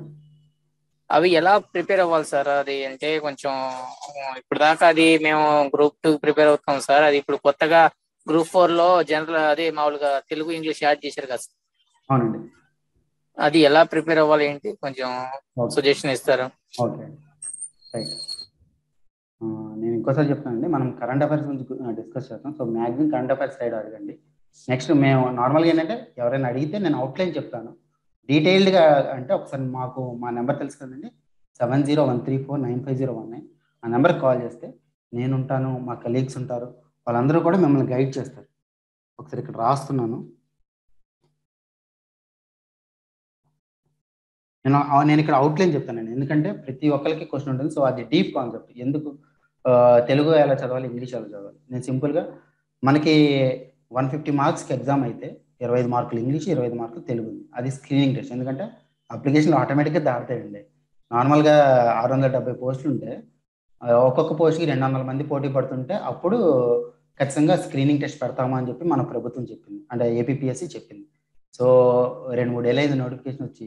సో ఆటోమేటిక్గా ఆరు లక్షలకు వెళ్ళిపోయింది నోటి అప్లికేషన్ ఇప్పుడు స్క్రీనింగ్ టెస్ట్ ఖచ్చితంగా ఉంది. సో స్క్రీనింగ్ టెస్ట్ ఏంటంటే నూట యాభై మార్కులకి ఇరవై ఐదు మార్కులు ఇంగ్లీష్ ఇరవై ఐదు మార్కులు తెలుగు. అది ఇరవై ఇంగ్లీషు తెలుగు ఏ స్థాయి ఎస్ఎస్సి స్థాయి మనం చిన్నప్పుడు ఆల్రెడీ ఇంగ్లీషు తెలుగు చదువుకున్నామండి. దాంట్లో సో మనకి ఏంటంటే స్టేట్ సిలబస్ సంబంధించిన టెక్స్ట్ బుక్స్ ఉంటాయి. మీ తమ్ముళ్ళు అయి ఉండొచ్చు మీ చెల్లెలు అయి ఉండొచ్చు వాళ్ళకి టెక్స్ట్ బుక్లు ఉంటాయి. దాంతో ముందు స్టార్ట్ చేయండి. అది సరిపోతుంది. దాంతో ముందు స్టార్ట్ చేస్తే మీకు అది సరిపోతుంది. మనం కూడా సివిక్స్ సెంటర్ తరఫు నుంచి మేము మెటీరియల్ రిలీజ్ చేస్తాం. ఆ మెటీరియల్ రిలీజ్ చేస్తే అది ఎగ్జాక్ట్ జూనియర్ అసిస్టెంట్ సంబంధించి మీకు ఈజీగా అవ్వాలి అంటే జనరల్ ఇంగ్లీష్ జనరల్ తెలుగు. మీ తమ్ముళ్ళు మీ చెల్లెళ్ళు లేకపోతే మీ మేనపడుళ్ళు మేనల్లు వీళ్ళు ఉంటారు కదా. వాళ్ళ టెక్స్ట్ బుక్స్ తీసుకుని వాళ్ళు చదవండి. అది ఏంటంటే ఎయిత్ టు టెన్త్ మీరు కాన్సన్ట్రేట్ చేయండి సరిపోతుంది. రైట్ సో నెక్స్ట్ వచ్చేసరికి రాజేష్ గారు మీరు అన్మ్యూట్ చేసి మీకు క్వశ్చన్ అడగండి. Thank you sir thank you for this opportunity sir sir ఎవరైతే లింక్ చేసి చేశారో వాళ్ళు కూడా మీ టీం అందరికి కూడా థ్యాంక్ యూ చెప్తున్నాను సార్ థ్యాంక్ యూ అండి రాజేష్ గారు. సార్ కరెంట్ అఫైర్స్ నేను సివిల్స్ రాశాను సార్ నేను. ఓకే. అందులో వెయిటేజ్ ఉంది sir. Weightage current affairs yearly yearly కూడా చేంజ్ అవుతా వస్తుంది ప్యాటర్న్ అంతా కలిసి. ఇంకోటి ఏంటంటే ఇప్పుడు సైన్స్ అండ్ టెక్నాలజీ జాగ్రఫీ ఇవన్నీ ఉన్నాయి కదా సార్. అవన్నీ సబ్జెక్ట్ ఇంక్లూడ్ చేసి కరెంట్ అఫైర్స్ అడగడం జరిగింది సార్. అట్లా గ్రూప్స్లో కూడా గ్రూప్ ఫోర్లో కూడా అట్లా ఇవ్వడం జరుగుతుందా సార్ అని నా డౌట్ రైట్ నేను ఒకసారి మిమ్మల్ని మ్యూట్ చేస్తున్నానండి. డిస్టర్బెన్స్ లేకుండా అన్మ్యూట్ చేస్తాను. రైట్ యూపీఎస్సీలో ఏంటంటే మనకు వై అనే క్వశ్చన్స్ చాలా ఎక్కువ ఉంటాయండి. ఒక స్టూడెంట్కి ఒక స్టూడెంట్కి ఒక కాన్సెప్ట్ తెలిస్తే ఆ కాన్సెప్ట్ ఎంత డీప్గా తెలుసు అనేది యూపీఎస్సీలో టెస్ట్ చేస్తారు. ఇక అందుకే మీకు మూడు నాలుగు స్టేట్మెంట్స్ ఇస్తారు. మూడు నాలుగు స్టేట్మెంట్స్ మీకు ఒకటి తెలిస్తే సరిపోదు. రెండు తెలిస్తే సరిపోదు. మీకు అన్ని స్టేట్మెంట్లే తెలియాలి. అలాగే కొన్ని టెక్నిక్స్ తెలియాలి. సో వై అనే కాన్సెప్ట్ ఎక్కువ ఉంటుంది. అదే నేను ఇందాక చెప్పినట్టు జూనియర్ అసిస్టెంట్ స్థాయిలో మీకు అంత డీప్గా తెలియక్కర్లేదండి.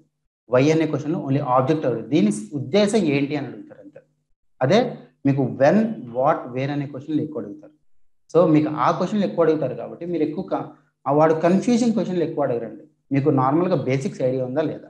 బేసిక్స్ క్లియర్గా ఉన్నారా లేదా? అందుకే మీరు యూపీఎస్సీ ప్రిపేర్ అయ్యారు. That's very good so UPSC అనేది ఒక సముద్రం అండి.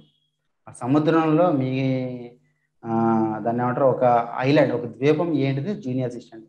ఆ ద్వీపం ఎక్కడుందో మీరు క్లియర్గా తెలుసుకుని ఆ రెలవెంట్ మెటీరియల్ చదవండి సరిపోతుంది.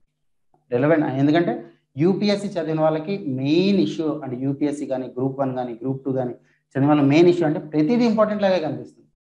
మీరు ప్రైమ్ మినిస్టర్ రష్యాలోనే ఉండే ఇంపార్టెంట్ కనిపిస్తుంది. ప్రైమ్ మినిస్టర్ సమతమూర్తి విగ్రహం లాంచ్ అయినా ఉండే ఇంపార్టెంట్గానే కనిపిస్తుంది. ప్రతిదీ ఇంపార్టెంట్గానే కనిపిస్తుంది. కానీ అసలైన ఇంపార్టెంట్ ఇష్యూస్ ఏంటి అంటే ముందు ఎగ్జామ్స్లో ఎలాంటి క్వశ్చన్స్ అడిగారు. ముందు ఎగ్జామ్స్లో ఎలాంటి క్వశ్చన్స్ అడిగారు. ఆ పరంగా మీకు ఏదైనా యూజ్ జరిగితే అది ఇంపార్టెంట్ అండి. రాజేష్ గారు ఒకసారి అన్మ్యూట్ చేస్తున్నాను. నెక్స్ట్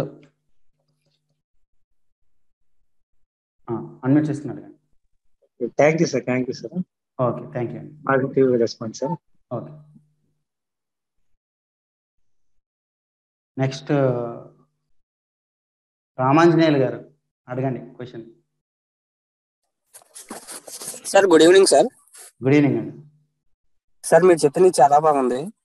థ్యాంక్ యూ సార్ ఏంటంటే ఇప్పుడు మీరు కరెంట్ అఫైర్స్ చెప్పారు కదా సార్ ఇప్పుడు నాకు మొన్న ఒకసారి న్యూస్ చూసినప్పుడు జగనన్న గారు పాలవెల్వ అమూల్తో అనంతపురంలో స్టా ఏర్పాటు చేశారని చెప్పి వచ్చింది సార్ ఒకటి. ఓకే అండి. ఇప్పుడు అది కరెంట్ అఫైర్ దాన్ని బ్యాక్గ్రౌండ్ కూడా చదవాలి సార్. బిఫోర్ ఏం జరిగింది ఎప్పుడు అమూల్ ఎప్పుడు స్టార్ట్ అయ్యిందో మొత్తం ఇన్ఫర్మేషన్ అంతా చూసుకోవాలా సార్? వెళ్ళేటప్పుడు ఎగ్జామ్కి? ఓకే అండి. ఒకసారి నేను మ్యూట్ చేస్తున్నాను. ఇది ఆన్సర్ చేస్తున్నాను మళ్ళీ అన్మ్యూట్ చేస్తున్నాను ఓకేనా రైట్ జగనన్న పాల వెలువ అనంతపురానికి షిఫ్ట్ చేయబడింది. ఇక్కడ మనకి ఇంపార్టెంట్ అండర్లైనింగ్ టాపిక్ ఏంటిది? నేను రాసి చూపిస్తాను. అందరికీ అర్థమవుతుంది కాబట్టి. మంచి క్వశ్చన్ అడిగారండి. మనకి ఇన్ని వర్డ్స్ ఉన్నాయి దీంట్లో. ఇన్ని వర్డ్స్లో ఏది ఇంపార్టెంట్ అనేది తెలుసుకోవడం ఇంపార్టెంట్ అండి దీంట్లో జగనన్న పాల వెల్లువ ఇదొక ఇదొక వర్డ్ అనంతపూర్ షిఫ్ట్ అయ్యారు. షిఫ్టింగ్ అయ్యింది అనంతపూర్ షిఫ్ట్ అయ్యింది. ఈ మూడు వర్డ్స్ ఉన్నాయి. మూడు వర్డ్స్లో అనంతపూర్ అనేది నార్మల్గా ప్లేస్ గురించి తెలుసుకోవాలి. అంతే. ఈ ఇష్యూ పరంగా అనంతపూర్కి అంత ఇంపార్టెన్స్ లేదు. అదే షిఫ్ట్ ఎందుకు అయ్యింది? Why this place is shifted to Anantapur అనేది చాలా తక్కువ ఇంపార్టెంట్ ఎందుకంటే that will definitely involve political reasons so political reasons అనేవి ఎక్కువ అడగరండి. ఎందుకంటే పొలిటికల్గా మనం ఎంత పాలిటిక్స్కి దూరంగా ఉంటామో ఇక మన జాబ్కి అంత దగ్గరగా ఉంటాం. ఎందుకంటే ఒక ఉద్యోగి అనేవాడు మీరు జాబ్లోకి వెళ్ళిన తర్వాత ఆబ్వియస్లీ పొలిటికల్ అయిపోతారు జాబ్లోకి వెళ్ళక ముందు మీరు ఏ ఏ పొలిటికల్ అంటారు దాన్ని? ఏ పొలిటికల్ అంటారు దాన్ని? మీరు ఏ పాలిటి పాలిటిక్స్కి ఎంత దూరంగా ఉంటే అంత మంచిదండి.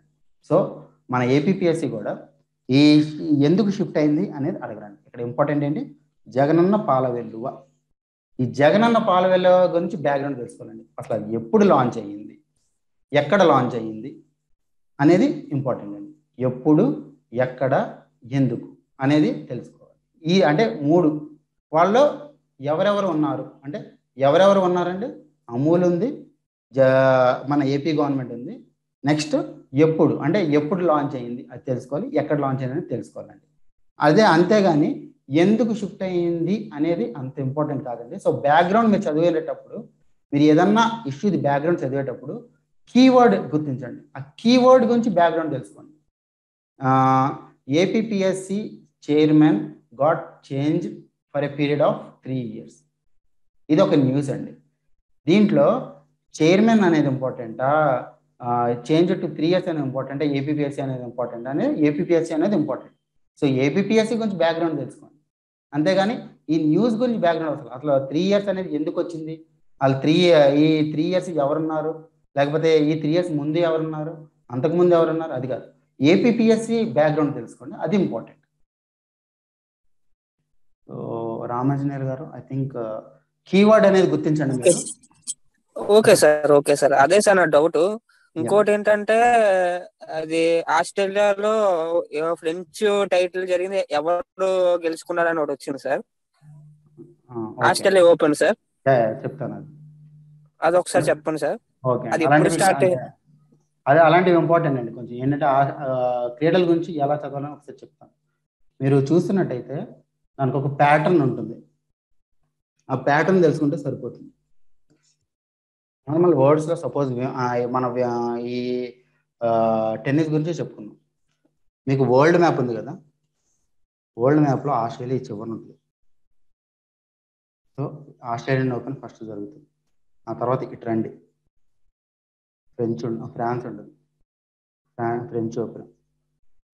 వింబుల్డన్ తర్వాత వచ్చేసరికి యుఎస్ ఓపెన్ మనకి సంవత్సరంలో ఫస్ట్ వచ్చేసరికి ఆస్ట్రేలియన్ ఓపెన్ జరుగుతుంది. తర్వాత French open next Wimbledon US open ఇది ఒక ప్యాటర్న్ అనమాట ప్రతి సంవత్సరం ఇలాగే జరుగుద్ది. ఇది వరల్డ్ టూర్ అంటే దీన్ని మొత్తం అంతా కలిపి ఏంటంటే గ్రా ఒక సంవత్సరంలో గ్రాండ్ స్లామ్ అంటారు. గ్రాండ్ స్లామ్ అంటే ఒక క్రీడాకారుడు గ్రా గ్రాండ్ స్లామ్ సాధించాడు అంటే ఆ గ్రాండ్ స్లామ్ అంటే ఈ నాలుగు టైటిల్లు కొట్టడాన్ని గ్రాండ్ స్లామ్ అంటారండి. సో ఆస్ట్రేలియా జరిగేది ఆస్ట్రేలియన్ ఓపెన్ అండి. ఆ కంట్రీస్ని బట్టి దాని వర్డ్ ఒక బ్రిటన్లో జరిగేదాన్ని మాత్రం వెంబుల్డన్ అంటారు. మిగతాన్నిటికీ దాని వర్డ్స్ ఉన్నాయండి. సో ఈ రకంగా ప్యాటర్న్ తెలుసుకోండి. సపోజ్ ఇండియా ఒక క్రికెట్ మ్యాచ్ గెలిచింది. India ICC world test champion రీసెంట్గా యూపీఎస్సీలో కూడా క్వశ్చన్ అడిగారు ఐసీసీ వరల్డ్ టెస్ట్ ఛాంపియన్షిప్ గురించి. వాళ్ళ క్రీడలు ఇంపార్టెంట్ కాదని వదిలేరు కానీ దాంట్లో కొన్ని డిఫికల్ట్ క్వశ్చన్ అడిగారు. మనం చేయాల్సింది ఏంటి? Okay India ICC world test ఛాంపియన్షిప్లో ఓడిపోయింది. ఓడిపోయిందంటే సెకండ్ పొజిషన్లో ఉంది. అసలు అక్కడ వరకు ఎలా రీచ్ అయ్యారు? ఎన్ని పాయింట్స్ ఉన్నాయి? పర్సంటేజ్ పాయింట్స్ ఎన్ని ఉన్నాయి? అవి తెలుసుకోవాలంటే ఓకేనండి ఐ థింక్ మీరు ఒక ఇష్యూ గురించి ప్యాటర్న్ తెలుసుకుంటే ఈజీగా మీకు అర్థమైపోతుంది. రామాంజనేయులు గారు. Okay sir okay sir. Thank you very much sir right okay sir. Thanks sir అంతే. అనిల గారు. Good evening sir good evening అండి సార్ మీరు చెప్పేవి అన్ని చాలా బాగా అర్థమవుతున్నాయి సార్ చాలా thanks sir okay thank you అండి ఏమైనా డౌట్ ఉందండి మీకు? సార్ అంటే ఇప్పుడు కరెంట్ అఫైర్స్ పారాగ్రాఫ్స్ లాగా ఇస్తున్నారు కదా అవి ఎంసీక్యూస్ లాగా ఇస్తే ఇంకొంచెం హెల్ప్ అవుతుందని అనుకుంటున్నాను సార్ MCQs ఖచ్చితంగా. ఏంటంటే నార్మల్గా మేము అనుకుంటున్నాము ఇప్పుడు ఏంటంటే మెటీరియల్ మా స్టూడెంట్స్కి మెటీరియల్ ఎక్కువ ఇవ్వాలి. సో మెటీరియల్ మీద మొత్తం మా టీం అంతా కూర్చుంది. నెక్స్ట్ ఏంటంటే మేము ఈ కరెంట్ అఫైర్స్ ఏవైతే ఉన్నాయో వాటికి సంబంధించి ప్రతిరోజు కూడా ఒక సెషన్ ఉంటుంది ఒక హాఫ్ అన్ అవర్ దాంట్లో ఎంసీక్యూస్తోనే అడగడం జరుగుతుంది. అదేంటంటే ఫ్యూచర్ ప్లాన్స్ ఒక వన్ వీక్ టూ వీక్స్ తర్వాత.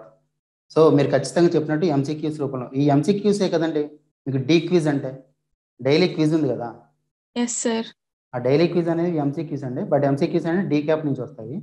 అంటే డైలీ కరెంట్ అఫైర్స్ నుంచి వస్తాయి. ఖచ్చితంగా మీ సజెషన్ అనేది యాక్సెప్ట్ చేస్తామండి. యాక్సెప్ట్ చేసి ఎంసీక్యూస్ రూపంలో కూడా మీకు ఇస్తామండి. థ్యాంక్ యూ సార్ సార్ ఈ సెషన్ రికార్డెడ్ క్లాస్లో పెడతారా సార్ ఆ, పెడతామండి ఖచ్చితంగా. Okay sir thank you thank you sir Ravan Reddy గారు మిమ్మల్ని అన్మ్యూట్ చేస్తానండి good evening sir good evening అండి. సార్ ఇప్పుడు కరెంట్ అఫైర్స్ డెప్త్గా వెళ్ళ కూడా చెప్పారు కదా సార్ సార్ అవునండి. నేషనల్ లెవెల్ కానీ సెంట్రల్ స్టేట్ లెవెల్ కానీ చూసుకుంటే మనకి జూనియర్ స్టెంట్కి స్పోర్ట్స్ కానీ వెట్ ల్యాండ్స్ కానీ జిఏ ట్యాక్స్ కానీ మన నేమ్ చేంజెస్ ప్లేస్ కానీ ఐఐటి ఐఐటీస్ కానీ మన ఈ- లెవెల్లో పోతే మన ఇప్పుడు యునెస్కో అని ఈ లెవెల్లో పోతే మనము రీచ్ అవుతామా సార్? మీకు చెప్పినట్టు రివర్స్ ఇంజనీరింగ్ టెక్నిక్ మీరే అప్లై చేసుకోండి. సార్? మీరు మీకు చెప్పినట్టు రివర్స్ ఇంజనీరింగ్ టెక్నిక్ మీరే అప్లై చేసుకోండి. రివర్స్ ఇంజనీరింగ్ టెక్నిక్ ఉంది కదా మీకు పీవైక్యూస్ ఇచ్చాం కదా. ఆ పీవైక్యూస్ చూడండి. ఆ పీవైక్యూస్లో ఎలాంటి క్వశ్చన్స్ అడిగారో సేమ్ ఇప్పుడు సపోజ్ పీవైక్యూస్లో మీకు వెట్ హ్యాండ్స్ గురించి అడిగారు అనుకోండి చిత్ర నేలల గురించి. సో చిత్ర నేలల గురించి కంపల్సరీ చదవండి. పీవైక్యూస్లో జిఏ ట్యాగుల గురించి అడిగారు అనుకోండి ఖచ్చితంగా చదవండి. పీవైక్యూస్లో అడిగారు కాబట్టి అలాంటి క్వశ్చన్ ఖచ్చితంగా అడగచ్చు. సో మీరు పీవైక్యూస్ ముందు పెట్టుకోండి. మెటీరియల్ పక్కన పెట్టుకోండి. పీవైక్యూస్లో ఉందా? చదవండి. పీవైక్యూస్లో లేదా? బేసిక్గా కవర్ చేయండి. అంతేగాని ఎక్కువ ప్రామినెన్స్ ఇచ్చి కవర్ చేయగలరు ఇప్పుడు నార్మల్గా నేను ఒక అంటే మళ్ళీ బిల్డింగ్ జోలికి వెళ్తాను. ఏమనుకోవద్దు. సో నార్మల్గా మనకి పీవైక్యూస్ బేస్ చేసుకుని చదివితే అదొక లగ్జీరియస్ అపార్ట్మెంట్ అండి. అంటే మీరు ఖచ్చితంగా ఆ లగ్జీరియస్ అపార్ట్మెంట్లో ఉంటారు. అదే మీరు పీవైక్యూస్లో లేవనుకోండి. అంటే మునుపటి ప్రశ్నలో మీరు అనుకున్న మీరు చదివే టాపిక్ లేదనుకోండి. జస్ట్ మినిమం ఒక గుడిస్ లాంటిదైనా మీరు బేసిక్ ఫెసిలిటీస్ అంటే ఒక ఇంట్లో నాలుగు గోడలు ఉంటాయి మళ్ళీ ఒక బాత్రూమ్ ఉంటుంది మళ్ళీ ఒక కిచెన్ ఉంటుంది. ఆ సింపుల్ ఆ బేసిక్ అయినా మీరు కవర్ చేసుకోవాలి. సపోజ్ ఇప్పుడు పాలిటీలో తీసుకోండి. పాలిటీలో తీసుకుంటే ఆర్టికల్స్ ఆర్టికల్స్లో చాలా ఫండమెంటల్ రైట్స్ ఫండమెంటల్ డ్యూటీస్ మళ్ళీ డైరెక్టివ్ ప్రిన్సిపల్స్ అనేవి ఇంపార్టెంట్ అలా అని చెప్పి మీరు అఫీషియల్ లాంగ్వేజ్ గురించి చదవడం మానేస్తే కష్టం అండి. కానీ మీరు ఇవి ఎంతో ఇంపార్టెంట్గా చదవాలి. అంటే ఫండమెంటల్ రైట్స్ గురించి ప్రతిదీ కంఠస్థం చేయాలి. అదే అఫీషియల్ లాంగ్వేజ్ గురించి ఆహా ఈ ఆర్టికల్ అది ఉంది అని చెప్పి తెలియాలి. దానికి దీనికి అదండి తేడా. ఆ చిన్న తేడా మీరు గమనించండి. చిన్న తేడా గమనిస్తే మీరు ఈజీగా చదవచ్చు. ఓకేనండి రామన్ రెడ్డి గారు? Sir thanks sir. Right PYQs ఆధారంగానే మీరు మొత్తం చదవండి. మెయిన్ మీరు ఏ ఎగ్జామ్ ప్రిపేర్ అయినా యూపీఎస్సీ ప్రిపేర్ అయినా సరే పీవైక్యూస్ ఆధారంగానే చేయండి. మీకు హెల్ప్ అవ్వకపోతే నన్ను అడగండి. Okay sir thank you right Murali Yadav గారు. Sir good evening sir. Good evening అండి. సార్ మీ డైలీ డైలీ కరెంట్ అఫైర్స్ మీరు పెట్టింది ఫాలో అవుతున్నాను సార్. క్విజ్ కూడా అటెంప్ట్ చేస్తున్నాను. ద వే ఆఫ్ ఎక్స్ప్లెనేషన్ అనేది చాలా బాగుంది సార్. అంటే ద స్టాటిక్ కానీ ప్రజెంట్ సిచ్యువేషన్ కానీ దాని బ్యాక్గ్రౌండ్ కానీ చాలా బాగా ఎక్స్ప్లెనేషన్ ఉంది సార్. Thank you sir. ఇంకొకటి ఏమంటే ఈ నోటిఫికేషన్లో జనరల్ స్టడీస్లో పర్టికులర్గా బ్యాచిలర్ డిగ్రీ స్టాండర్డ్ అని ఇచ్చారు sir is they chance to increase the difficulty of paper sir difficulty ఎంత ఉంటుందని ఇప్పుడు సపోజ్ ప్రీవియస్ నోటిఫికేషన్స్ చూసామండి. ప్రీవియస్ నోటిఫికేషన్ రెండు వేల పంతొమ్మిదిలో నోటిఫికేషన్ ఉంది. రెండు వేల పదిహేడులో నోటిఫికేషన్ ఉంది. సో వాటి నోటిఫికేషన్లో బ్యాచిలర్ డిగ్రీ అని ఇచ్చారు. సో ఆ దాని ఆధారంగానే క్వశ్చన్లు అడిగారు. సో అవి తీసుకుని వాటి ఆధారంగానే మేము ఇక్కడ ఇస్తాం ఓకేనండి?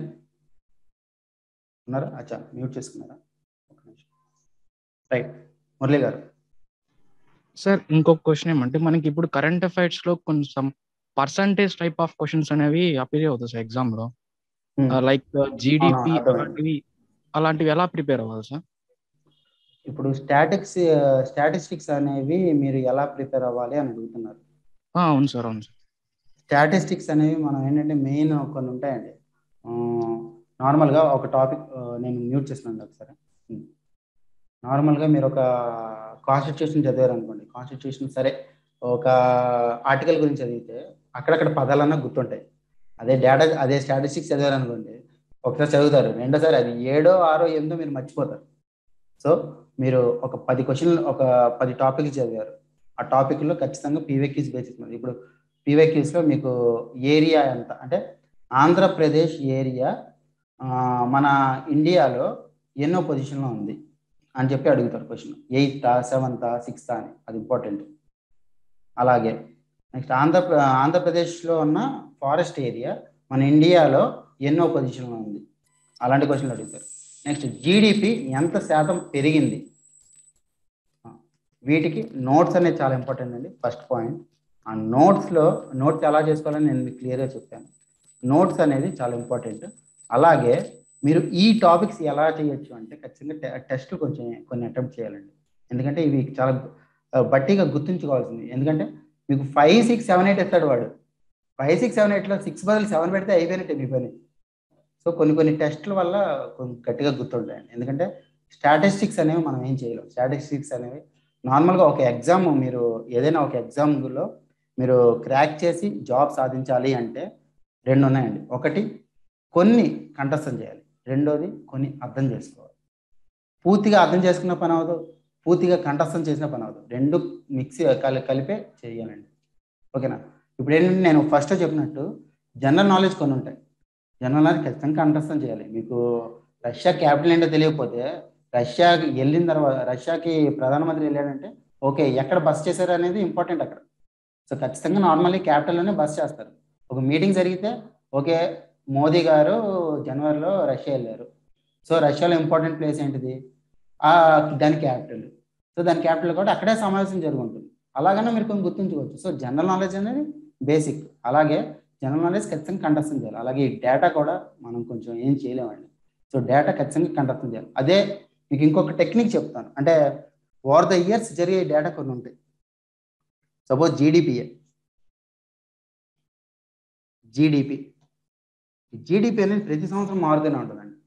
సో మీరు ట్రెండ్ చూడండి. అంటే నార్మల్గా ఒక మనిషికి చదివిన దానికంటే చూసింది ఎక్కువ గుర్తుంటుంది. అందుకే మనకి సినిమాలు అంత బాగా గుర్తుంది సో మీరు ఒక జీడిపి చూసుకుంటే ఐదారు సంవత్సరాల సంబంధించి గ్రాఫ్లు ఇస్తారు వాళ్ళు. ఆ గ్రాఫ్లు చూడండి. గ్రాఫ్లు చూస్తే మీకు ఈజీగా గుర్తుంటుంది. పెరిగిందా తరిగిందా ఎంత పర్సెంట్ పెరిగింది? సో అది మీకు ఈజీగా గుర్తుంటుంది. ఓకేనా? అలాంటి ట్రెండ్ వచ్చేవి మనం ఈజీగా అర్థం చేసుకోవడానికి ఉంటుంది అదే మీరు ఏ పొజిషన్లో ఉంది? లేకపోతే ఎంత జనాభా ఉంది? అలాంటి క్వశ్చన్ అంటే ఖచ్చితంగా గుర్తుంచుకోవాలండి. సో ఇప్పుడు మిమ్మల్ని అన్మ్యూట్ చేస్తున్నాను. సార్ మీరు ఒక్కసారి హ్యాండ్ రైజ్ చేయగలరా? మీకు ఏమైనా డౌట్ ఉంటే హ్యాండ్ రైజ్ చేయండి. లేకపోతే okay you can okay I think ఆయనకి డౌట్ ఏం లేదు. నెక్స్ట్ సుబ్బలక్ష్మి గారు. Sir good evening sir. Good evening అండి. సార్ ఇప్పుడు కరెంట్ అఫైర్స్ అనేది సిక్స్ మంత్స్కి ప్రిఫరెన్స్ ఇమ్మని చెప్పారు సార్. అంటే రెగ్యులర్గా పడే ఎగ్జామ్స్కి సిక్స్ మంత్స్ అనే ప్రిఫరెన్స్ ఇవ్వాలమ్మా. కానీ మన ఏంటంటే ఓ రెండు సంవత్సరాలకు ఒకసారి పడుతుంది.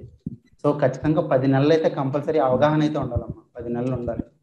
ఎందుకంటే నేను చెప్పినట్టు మీకు ఒక ఎయిత్ మంత్ లోనో లేకపోతే అంటే ఎగ్జామ్ ముందు ఎయిత్ ఒక ఎనిమిది నెలల ముందు ఒక ఈవెంట్ జరిగి ఉంటుంది వాడికి ఏ ఛాన్స్ దొరకలేదు ఎగ్జామ్లో ఇవ్వడానికి. ఈ ఎగ్జామ్లో ఖచ్చితంగా ఇవ్వాలి వాడు. సో ఒక టెన్ మంత్స్ అయితే ఖచ్చితంగా చూసుకున్నాం ఓకే సార్ అయితే ఇది ఈ నోటిఫికేషన్ ఇవ్వడానికి ముందు టెన్ మంత్సా లేదంటే ఎగ్జామ్కి ముందు టెన్ మంత్స్ సార్? ఏపీఎస్సీలో వచ్చరికి ఎగ్జామ్ ముందు టెన్ మంత్స్ అమ్మా నోటిఫికేషన్ నుంచి కాదు సార్. ఏపీఎస్సీలో అయితే ఎగ్జామ్ ముందు టెన్ మంత్స్ చూసుకోండి. అదే నార్మల్ వేరే ఎగ్జామ్స్ బ్యాంక్ ఆ టైప్ అయితే నోటిఫికేషన్ నుంచి టెన్ మంత్స్ చూసుకోండి. Okay sir. ఏపీఎస్సీలో అయితే మాత్రం ఎగ్జామ్ నుంచి టెన్ మంత్స్ చూసుకోండి. ఎందుకంటే ఏపీఎస్సీ నార్మల్లీ ఏంటంటే పోస్ట్పోన్ అవుతూనే వెళ్తుంది నార్మల్లీ సార్ అకామిడేట్ చెప్పండి. చెప్పండి సార్. నార్మల్ ఏంటంటే ఇప్పుడు ఏపీఎస్సికి చాలా విజ్ఞప్తులు వెళ్తాయి. సార్ ఆ, చాలా మంది ఏంటంటే మాకు వెబ్సైట్ ఓపెన్ కాలేదు సో ఇంకొంచెం టైం ఇవ్వండి. సో అంతమందిని ఒక్క నిమిషం మిమ్మల్ని మ్యూట్ చేస్తానమ్మా ఏమనుకోవద్దు. మాకు నోటి అప్లై చేసుకోవడానికి టైం దొరకలేదు. ఆర్ అప్లై చేసుకోవడానికి వెబ్సైట్ చాలా స్లోగా ఉంది. సో ఏపీఎస్సిలో లాజిస్టికల్ ప్రాబ్లమ్స్ ఎక్కువ ఉండడం వల్ల వాళ్ళ విజ్ఞప్తుల్ని యాక్సెప్ట్ చేయాలి సో ప్రతి ఒక్కరిని యాక్సెప్ట్ చేస్తూనే ముందుకు వెళ్ళాల్సి వస్తుంది కొన్ని గవర్నమెంట్ బాడీస్. తప్పదు. ఆ- అందువల్ల ఏంటంటే అప్లికేషన్ అనేది రెండు సార్లు ఎక్స్టెండ్ చేశారు. సో అలాగే ఎగ్జామ్ కూడా సార్ ఇచ్చిన టైం సరిపోదు. ఎందుకంటే మధ్యలో కోవిడ్ వచ్చింది. లేకపోతే సార్ అప్లికేషన్ డేట్ ఎక్స్టెండ్ అయింది. సో ఇచ్చిన టైం సరిపోదు. మళ్ళీ కొంచెం ఎక్స్టెండ్ చేయండి. లేకపోతే సార్ ఈ టైంలో ఎలక్షన్స్ ఉన్నాయి. సో కొంచెం ఎక్స్టెండ్ చేయండి. ఎలక్షన్స్ వల్ల చదవలేము. అలా రిప్రజెంటేషన్స్ వెళ్తాయి కాబట్టి ఏం చేయలేము అమ్మ. సో ఎగ్జామ్కి ముందు టెన్ మంత్స్ చదువుకుంటే మీకు యూజ్ అవుతుంది. అడగండి. సుబ్బలక్ష్మి గారు అన్మ్యూట్ చేసుకుని అడగండి. ఇంకేమైనా క్వశ్చన్ ఉంటే. ఒక్క నిమిషం అండి. అన్మ్యూట్ చేసుకుంటారా? ఓకే క్వశ్చన్ లేదా అండి? Right hello. అడగండి. సార్? అడగండి వినిపిస్తుంది. ఇప్పుడు ten months monthly current affairs before ten months six center నుంచి ప్రొవైడ్ చేయగలరా సార్ మీరు? చేస్తున్నామండి. అదే అదే మెయిన్ నెక్స్ట్ పార్ట్ టూలో అవే అండి రిలీజ్ చేస్తుంది. పార్ట్ టూలో మేము ఎలా చేస్తున్నామంటే ఇప్పుడు ఏదైతే ఫిబ్రవరి మంత్ దీని ముందు మూడు నెలల ముందు రిలీజ్ చేస్తున్నాం. అలాగే టెన్ మంత్స్లో ఫస్ట్ త్రీ మంత్స్ రిలీజ్ చేస్తున్నాం. అలాగా రెండు సైడ్స్ కలుపుకొస్తున్నాం. అంటే అందువల్ల కొంచెం బ్యాక్కి వెళ్తారా సార్? ఫ్రంట్ నుంచి కొంచెం అంటే ఇప్పుడు అక్టోబర్ నవంబర్ డిసెంబర్ జనవరి అనేది ఫస్ట్ ప్రొవైడ్ చేస్తాం. ఈ నాలుగు నెలలు. అంటే ఈ ఫిబ్రవరికి ముందు నాలుగు నెలలు. ఎందుకంటే మీకు డైలీ డీకేప్ ఆల్రెడీ ఇచ్చేస్తున్నాం. సో అదంతా క్లబ్ చేసి ఇచ్చేస్తే మీ మీద ఇన్ఫర్మేషన్ డంప్ చేసినట్టు. వాటిల్లో మీకు ఇందాక మెటీరియల్ రిలీజ్ అయింది. మెటీరియల్లో మేము గవర్నమెంట్ స్కీమ్స్ ఎలా ఇచ్చామో ఒకసారి చూడండి. ఆ గవర్నమెంట్ స్కీమ్స్ ఇచ్చినట్టే మీకు ఏదైతే ఇంపార్టెంటో ఏదైతే ఆబ్జెక్టివ్ ఇంపార్టెంటో సేమ్ అదే రీతిలో ఇస్తాం. మిమ్మల్ని అవసరం లేనిది ఏది మేము చదివించాము. అవసరం అయితేనే మేము అది చదివిస్తాం. ఎందుకంటే మీకు జూనియర్ అసిస్టెంట్ క్రాక్ చేయడం మా అధ్యాయం ఓకేనా? ఈ మెటీరియల్ నేను లింక్ అనేది యాక్టివేట్ లింక్కి టచ్ చేసి అందులోకి ఓపెన్ చేస్తాను సార్. అది పర్చేస్ చేశాను మెటీరియల్ అనేది. ఓకే. అది మెయిల్ వచ్చేసి బై డౌన్లోడ్ చేసుకోమని చెప్పి చూపించింది. డౌన్లోడ్ కొడితే అవ్వడం లేదేంటి సార్? డౌన్లోడ్ కొడితే అంటే ఇది మా సెపరేట్ సెషన్ తీసుకోవాలి మీకు మీరు డౌన్లోడ్ కొట్టిన తర్వాత మీకు ఆ మెటీరియల్ అనేది మీ మెయిల్కి వెళ్తుంది. మీ మెయిల్లో చెక్ చేయండి. మెయిల్లోనే సార్. మెయిల్ ఓపెన్ చేసిన తర్వాత డౌన్లోడ్ హియర్ అని ఉంది. అది. డౌన్లోడ్ టచ్ చేసి మెటీరియల్ చూపించట్లేదు. డైరెక్ట్ అది స్టోర్లోకి వెళ్ళిపోతుంది. స్టోర్లో ఉన్నవన్నీ చూపిస్తుంది తప్ప మెటీరియల్ అనేది ఓపెన్ అవ్వట్లేదు. ఓకే. ఒకసారి నేను కనుక్కుంటాను. ఎందుకంటే దీని ముందు కదా పెట్టాను మీకు. క్లాస్ ముందు కాబట్టి నేను అంత కాన్సన్ట్రేట్ చేయలేదు. ఒకసారి నేను కనుక్కొని మీకు చెప్తాను. ఓకే. సుబ్బలక్ష్మి గారు మీకు మేడం కాంటాక్ట్లో ఉన్నట్టున్నారు. జ్యోతిక మేడం. సో ఖచ్చితంగా ఆవిడని అడిగి నేను చెప్తాను. ఓకేనా? Okay sir. Thank you okay. Right ఇందాక కరెంట్ అఫైర్స్ అనేవి చాలా బాగుందని చెప్పారండి ఒక ఆయన. నేను ఇక్కడ ముందుగా క్రెడిట్ ఇవ్వాల్సింది మా డైలీ కరెంట్ అఫైర్స్ అనేది ముందు ఆ, అసలు ఆ ఐడియా తీసుకొచ్చిన విష్ణు అండి. సో మా మొత్తం డైలీ కరెంట్ అఫైర్స్ ఇంత క్వాలిటీ రావడానికి తను మేము క్వాలిటీ కాన్షియస్ కీపర్ అంటాము. సో అతను క్వాలిటీ లేకపోతే ముందుకు కూడా వెళ్ళండి సో అంత క్వాలిటీ మెయింటైన్ చేస్తాడు కాబట్టి మీకు డైలీ కరెంట్ అఫైర్స్ ఇంత బాగుంది. సో ఆయన చేసిన కష్టమే ఇదంతా. Daily current. Next Sunitha garu unmute చేసుకోండి. చెప్పండి. first of all, uh, thank you for your whole team. Fabulous job you did, sir, for low price.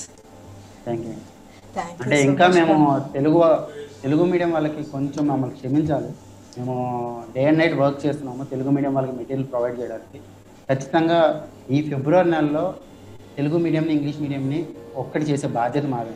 అదొక్కటి నమ్మండి. ఒక వారం పాటు ఒక్కసారి కొంచెం ఓపిక పట్టండి. మీకు తెలుగు మీడియం వాళ్ళకి కూడా మొత్తం మెటీరియల్ రిలీజ్ రైట్? చెప్పండి సార్ యాక్చువల్లీ నేను సైన్స్ బ్యాక్గ్రౌండ్ నుంచి సార్ నాది ఎంఎస్సీ బీఈడి. ఇది ఫస్ట్ టైం గ్రూప్ ఫోర్ అని రాయాలనే ఇంట్రెస్ట్ తోటి చదువుతున్నాను. మీరు ఎంసీక్యూస్ అంటే డైలీ మీరు క్లాసెస్ పెడుతున్నారు కంటెంట్ చెప్తున్నారు. ఈ కంటెంట్ విని ప్రిపరేషన్ అంటే ఏం సరే పర్ డే ఇన్ అవర్స్ అనా లేకపోతే కంటెంట్ విన్నాక ఎంసీక్యూస్ తీసుకొని అందులో టాపిక్ వైజ్ ప్రిపేర్ అవ్వాలా ఏంటి అనేది కొంచెం కన్ఫ్యూజ్ అయిపోతుంది సార్ మీరు ప్రిపరేషన్ ఇప్పుడే స్టార్ట్ చేశారు కాబట్టి మీరు ఒక్కసారి మిమ్మల్ని మ్యూట్ చేస్తున్నారు మీరు ప్రిపరేషన్ ఇప్పుడు స్టార్ట్ చేసిన వాళ్ళకి ఏంటంటే కొంచెం ఏవైతే క్లాసెస్ జరుగుతున్నాయో ఏ రోజైతే ఏ క్లాస్ ఉందో ఆ క్లాస్కి తగ్గట్టు ఆ క్లాస్ నోట్స్ ముందు చదువుకోండి. క్లాస్ నోట్స్ ప్రతిరోజు పెడుతున్నారు. ఆ క్లాస్ నోట్స్ చదువుకోండి ముందు. సో ఆ క్లాస్ నోట్ చదువుకున్న తర్వాత పీవేక్యూస్ బుక్ ఓపెన్ చేయండి. లేకపోతే పీవేక్యూస్ పీడిఎఫ్ ఓపెన్ చేయండి. వాటిలో నుంచి ఏ కో- ఏ టాపిక్స్ ఎక్కువ అడిగారు చూడండి. సో దాన్ని మీకు క్లియర్గా అర్థమైందో లేదో చూడండి. ఆ తర్వాత ప్రతి ఇప్పుడు జాగ్రఫీ బయాలజీ అయిపోయింది. సో జాగ్రఫీ బయాలజీ సంబంధించి టెస్ట్ సిరీస్ మేము పెట్టాం ఆల్రెడీ. సో ఆ టెస్టులు మీరు సాల్వ్ చేయండి. టెస్టులు సాల్వ్ చేసే ఉపయోగం ఏంటంటే ఆ టెస్టుల వల్ల మీకు ఎక్స్ప్లెనేషన్ కూడా మీకు ఉంటుంది. ఆ ఎక్స్ప్లెనేషన్ కింద ఉంటుంది. ఆ ఎక్స్ప్లెనేషన్ ఏంటంటే ఆ క్వశ్చన్కి సంబంధించి ఉంది ఒక ఏ బీసీడీ నాలుగు ఆప్షన్ ఉంటే ఏ ఎందుకు రైట్ అసలు బి ఎందుకు రైట్ కాదు? సి ఎందుకు రైట్ కాదు? డి ఎందుకు రైట్ కాదు? అలా నాలుగు ఆప్షన్స్ ఎక్స్ప్లెయిన్ చేశాను అనమాట సో మీరు ఈ రకంగా ఓ క్లాస్ అటెండ్ అయ్యి క్లాస్ నోట్స్ చదివి పీవేకి సాధారణంగా ఏ టాపిక్ ఇంపార్టెంటో తెలుసుకుని ఆ టాపిక్ ఎక్కువ కాన్సన్ట్రేట్ చేసి చదివి అండ్ uh, అలాగే టెస్ట్లో చేస్తే ఐ థింక్ uh, మీకు అది సరిపోతుందమ్మా అది మోర్ దెన్ అన్న అండ్ ఇప్పుడు న్యూస్ పేపర్ అనేది మీరు అలవాటు చేసుకోండి. న్యూస్ పేపర్ అలవాటు చేసుకోండి. ఎందుకంటే ఇప్పుడు మీరు ప్రిపరేషన్ ఇప్పుడు స్టార్ట్ చేశారు కాబట్టి మనం లాంగ్ టర్మ్ చూద్దాం. లాంగ్ టర్మ్ ఏంటంటే మీరు సపోజ్ ఇది ఖచ్చితంగా క్రాక్ చేస్తారు. If god god forbid if ఇది కానీ ఒకవేళ కాకపోయినా ఆ న్యూస్ పేపర్ అనేది మీకు నెక్స్ట్ జాబ్ కన్నా సరే మీకు చాలా యూజ్ అవుతుందమ్మా ఎందుకంటే ఇప్పుడు మీరు స్టార్ట్ చేశారు. అది నెక్స్ట్ దానికి మీరు ఒక ఎక్స్పీరియన్స్ ఉంటుంది. న్యూస్ పేపర్ ఎలా చదవాలో తెలుస్తుంది. ఆ రకంగా మీరు ప్రిపరేషన్ చేస్తే ఐ థింక్ uh, ఖచ్చితంగా మీరైతే క్రాక్ చేస్తారమ్మా సునీత గారు రైట్ చెప్పండి. అన్మ్యూట్ చేసుకుని చెప్పండి. మ్యూట్ చేస్తారు మళ్ళీ. సునీత గారు చెప్పండి. Thank you sir. అదే సార్ అంతే డౌట్ ఓకే అండి. Right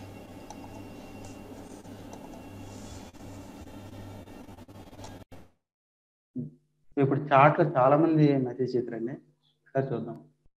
Sir is there any standard newspaper that we need to follow for better information ఇప్పుడు స్టాండర్డ్ న్యూస్ పేపర్ అంటే ఇంగ్లీష్ వాళ్ళకైతే హిందూ యూపీఎస్సీ గ్రూప్ అని ఉపయోగపడుతుందండి. తెలుగులో ఏంటంటే అది చెప్తే పొలిటికల్ అవుతుంది బట్ చెప్దాము. ఈనాడు అనేది మెయిన్ ఇంపార్టెంట్ అండి. ఈనాడులో ఏంటంటే మీకు అంటే over the years Eenadu has establish some credibility. So Eenadu news ఎక్కువ ఫాలో అయితే మీకు దాంట్లో కొన్ని పొలిటికల్ అయినా కొన్ని ఖచ్చితంగా యూస్ఫుల్ ఇన్ఫర్మేషన్ ఉంటుంది. సో ఈనాడు మీరు ఫాలో అవ్వచ్చండి.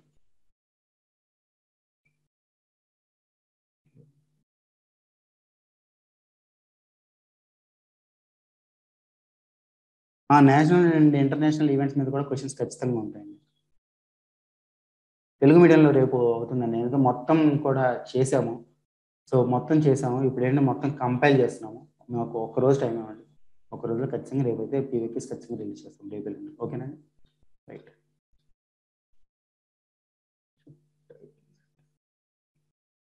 అవునండి. షిఫ్ట్ అయ్యింది అంటే సంథింగ్ రీజన్ ఉంటుంది. బట్ ఆ రీజన్ మోస్ట్లీ పొలిటికల్ ఉంటుంది. అండ్ ఎందుకు షిఫ్ట్ అయ్యింది అనేది మ్యాక్సిమం గ్రూప్ ఫోర్లో అడగరండి. మీరు చూసుకున్నట్టయితే క్వశ్చన్స్ వై అనే క్వశ్చన్స్ చాలా తక్కువ ఉన్నాయండి. వై అనే క్వశ్చన్స్ పది తీసుకుంటే ఒకటో రెండు. మీరు అదే గ్రూప్ టూలో కూడా అంత ఫ్యాక్చువల్ ఉంటుంది. అది గ్రూప్ వన్లో వై అనేది ఇంపార్టెంట్ అవుతుందండి. మీరు చదవచ్చు. సార్ వై అనేది కూడా ఇంపార్టెంట్. వై తెలుసుకోకపోతే నాకు కాన్సెప్ట్ అలా అర్థమవుతుందండి. అవునండి మీరు ముందు ప్రిపరేషన్ స్టార్ట్ చేస్తే కాన్సెప్టువల్గా చదువుకోవచ్చు. బట్ మీకు ఉన్న టైంని ఎఫెక్టివ్గా యూజ్ చేయాలంటే వై అనేది ఆబ్జెక్టివ్ తెలుసుకుంటే సరిపోతుందండి.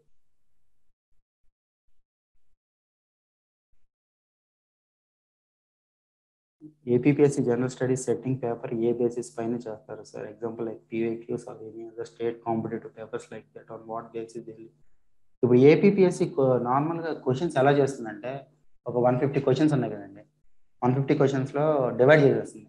ఒక ten questions twenty five questions or fifteen questions అలా డిఫరెంట్ డిఫరెంట్ ఫ్యాకల్టీస్కి ఇచ్చేస్తుంది. వాళ్ళ నుంచి తీసుకుంటుంది క్వశ్చన్స్ మళ్ళీ రివ్యూ చేస్తుంది ఏపీఎస్సి బోర్డు ఉంటుంది. మ్యాక్సిమం ఏపీపీఎస్సి క్వశ్చన్ పేపర్స్ అన్ని జేఎన్ కాకినాడ కరెక్షన్ అవుతాయి. క్వశ్చన్స్ కూడా వాళ్ళ నుంచి అవుతాయి లేదు వాళ్ళు చెప్పరండి వాళ్ళు చెప్తే ఏంటంటే మీకు తెలిసిందే కదా తర్వాత ఏమవుతుందో. సో క్వశ్చన్స్ ఎక్కడి నుంచి సోర్స్ అవుతాయి అనేది. బట్ క్వశ్చన్స్ మాత్రం ఏ స్టాండర్డ్ మెయింటైన్ చేస్తారంటే పీవీ పీవైక్యూని బట్టి స్టాండర్డ్ మెయింటైన్ చేస్తారు. అది అయితే మీకు ఖచ్చితంగా చెప్పచ్చు. వేరే స్టేట్ క్వశ్చన్ పేపర్స్ మీద బేసిస్ అవ్వండి. మీరు అసలు పొరపాటు పడద్దు. ఎందుకంటే తమిళనాడు చూసుకుంటే టీఎన్పిఎస్సి అనేది చాలా టఫ్గా ఉంటుంది. అదే మీరు Bihar public stay state public service మీకు తెలిసిందే ఎలా ఉంటుంది. సో వేరే స్టేట్ క్వశ్చన్ పేపర్స్ అనేవి కన్సిడర్ చేయరు. ఒకటి వన్ ఆర్ టూ క్వశ్చన్స్ తీసుకొచ్చాము బట్ ఏంటంటే ఆ స్టేట్ క్వశ్చన్ పేపర్స్కి ద్వారా ఇది చేయరండి ఫోర్ ల్యాక్స్ ఓకే. అంటే నేను చూ మేము చూసామండి. అఫీషియల్గా ఎక్కడ రిలీజ్ చేస్తారేమోనని బట్ మేము కనుక్కున్న దాన్ని బట్టి సిక్స్ ల్యాక్స్ అని చెప్పారండి. ఒకవేళ అఫీషియల్గా నా డాక్యుమెంట్ ఉంటే ఒక్కసారి పెట్టండి మేము చూస్తాము. సో అఫీషియల్గా అయితే ఏ ఎక్కడ దొరకలేదండి. అంటే ఎంతమంది అప్లై చేశారు అనేది ఇంకా ఎడిట్ ఆప్షన్స్ ఇస్తున్నారు కదా ఇప్పుడు. ఇంకొక విషయం అండి. అప్లికేషన్లో ఎడిట్ ఆప్షన్ ఇచ్చారు ఇప్పుడు. ఒక ఎడిట్కి హండ్రెడ్ రూపీస్ అంత ఛార్జ్ చేస్తున్నారు. సో ఎవరైనా సపోజ్ పొరపాటున చేస్తే అప్లికేషన్లో అది కరెక్ట్ చేసుకోండి. అండ్ అప్లికేషన్లో మీ ఫోటో కింద మీ పేరు డేట్ ఖచ్చితంగా ఉండాలండి. ఆ డేట్ ఏంటంటే మీరు ఏ డేట్లో ఫోటో దిగారు అవి లేకపోతే అప్లికేషన్ రిజెక్ట్ చేస్తున్నారు. సో అప్లికేషన్లో మీ పేరు ఫో- ఫోటో ఫోటో మీద మీ పేరు డేట్ ఉండేలాగా చూసుకోండి.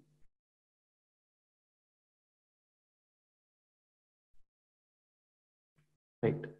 కరెంట్ అఫైర్స్ కూడా ఎక్స్ప్లెయిన్ క్లాస్ స్టార్ట్ అవునండి కరెంట్ అఫైర్స్ క్లాసెస్ స్టార్ట్ అవుతాయండి. ఖచ్చితంగా కరెంట్ అఫైర్స్ క్లాసెస్ అంటే ఒక్కొక్కటికి ఇప్పుడు నెక్స్ట్ ఇంగ్లీష్ ఉంది.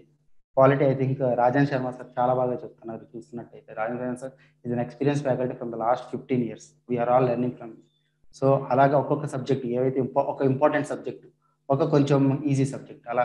అంటే రెండు టఫ్ సబ్జెక్ట్స్ అయితే బ్రెయిన్ అనేది అంత వర్క్ చేయలేదు. సో ఒక టఫ్ సబ్జెక్ట్ ఉంటే ఒక ఈజీ సబ్జెక్ట్ ఉంటుంది అలా ప్లాన్ చేస్తున్నాము. సో అలా ప్లాన్ చేసి మీకు మొత్తం అంతా సిలబస్ అది కవర్ చేస్తాం. అదే కరెంట్ అఫైర్స్ కూడా సెపరేట్ సెషన్స్ కూడా ప్లాన్ చేస్తున్నాం అండి. సెపరేట్ సెషన్స్ ఇది ఫస్ట్ సెషన్ అనుకోండి అలాగా. రీసెంట్ బడ్జెట్ అండ్ సర్వే అనేది సరిపోదండి. సో రీసెంట్ బడ్జెట్ అండ్ సర్వేలో మీకు రీసెంట్ ట్రెండ్స్ ఉంటాయి. బట్ మెయిన్లీ ఎకానమీలో ఏపీ సిచ్యువేషన్ ఎలా ఉంది? అంటే హిస్టారికల్ ఎకానమీ ఉంటుందండి. అంటే ఎకానమికల్ హిస్టరీ అంటారు సో వాటిలో ఫైవ్ ఇయర్ ప్లాన్స్ ఎలా నిర్వహించారు? లేకపోతే ఈ స్కీము అప్పటి అప్పుడు మీరు రెండు వేల ఎనిమిదిలో రెండు వేల ఐదులో ఇచ్చిన అదే అదేంటి మన్రేగా స్కీము అప్పుడు ఏ ఆబ్జెక్టివ్ చేశారు? ఇప్పుడు ఏ ఆబ్జెక్టివ్ ఉంది? అలా ఏంటంటే ఏ స్కీము బడ్జెట్ సర్వే ఒక్కటే సరిపోవండి. దాని మీద కొంచెం అడిషనల్గా ఉంది మ్యాక్సిమం బడ్జెట్ సర్వే నుంచి అడుగుతారు. దాని మీద బేసిక్స్ కోసం మీరు ఖచ్చితంగా వేరే మెటీరియల్ చదువుకోవాలండి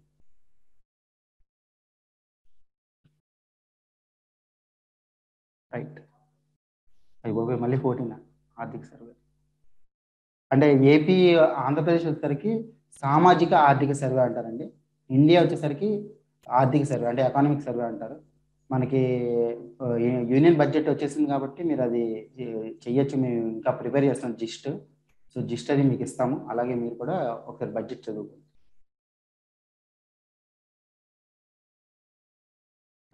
ఏ డేట్ అప్లై చేసాం కదండి ఏ డేట్లో మీరు ఫోటో దిగారు? ఆ ఎందుకు అది అడుగుతున్నారంటే ఇప్పుడు వాళ్ళకేమో నల నలభై ఏళ్ళు వాళ్ళు పెట్టేదేమో పదిహేడేళ్ళ ఫోటో. వేరే సినిమాలు అందరు ఇక్కడ డిస్కస్ చేయకూడదు. సో అలాంటి ఫోటోలు పెట్టకుండా మీరు ఏదైతే రీసెంట్ ఫోటో అని చెప్పి మీకు మీరు ధృవీకరించి ఆ ఫోటో మీద మీ పేరు డేట్ అనేది. క్వాలిటీ ఆర్టికల్స్ అంటే ఆర్టికల్స్ ఫండమెంటల్ రైట్స్ మీరు వరుసగా కంటెస్టన్ చేస్తే ఈజీగా వచ్చేస్తాయండి రెండు మూడు సార్లు మీకు ఏదైనా సార్ మాకు గుర్తుండట్లేదు అంటే మీరు రివిజన్ చేయలేదండి. మీరు రివిజన్ చేస్తేనే మీకు గుర్తుండదు. ఏదైనా పరీక్ష ప్లాన్ ప్రిపేర్ పెర్ఫామ్ ప్లాన్ చేసుకోండి ప్రిపేర్ అవ్వండి. ప్రిపరేషన్లో రివిజన్ అనేది చాలా ఇంపార్టెంట్. అప్పుడు మీరు పెర్ఫార్మెన్స్ ఓకేనండి మీకు గుర్తుండట్లేదండి మీరు రివిజన్ చేయనట్టు. సార్ రెండు వేల పద్దెనిమిదిలో ఇప్పుడు ఎలా పెడతారు సార్? రీసెంట్ది పెట్టండి సార్.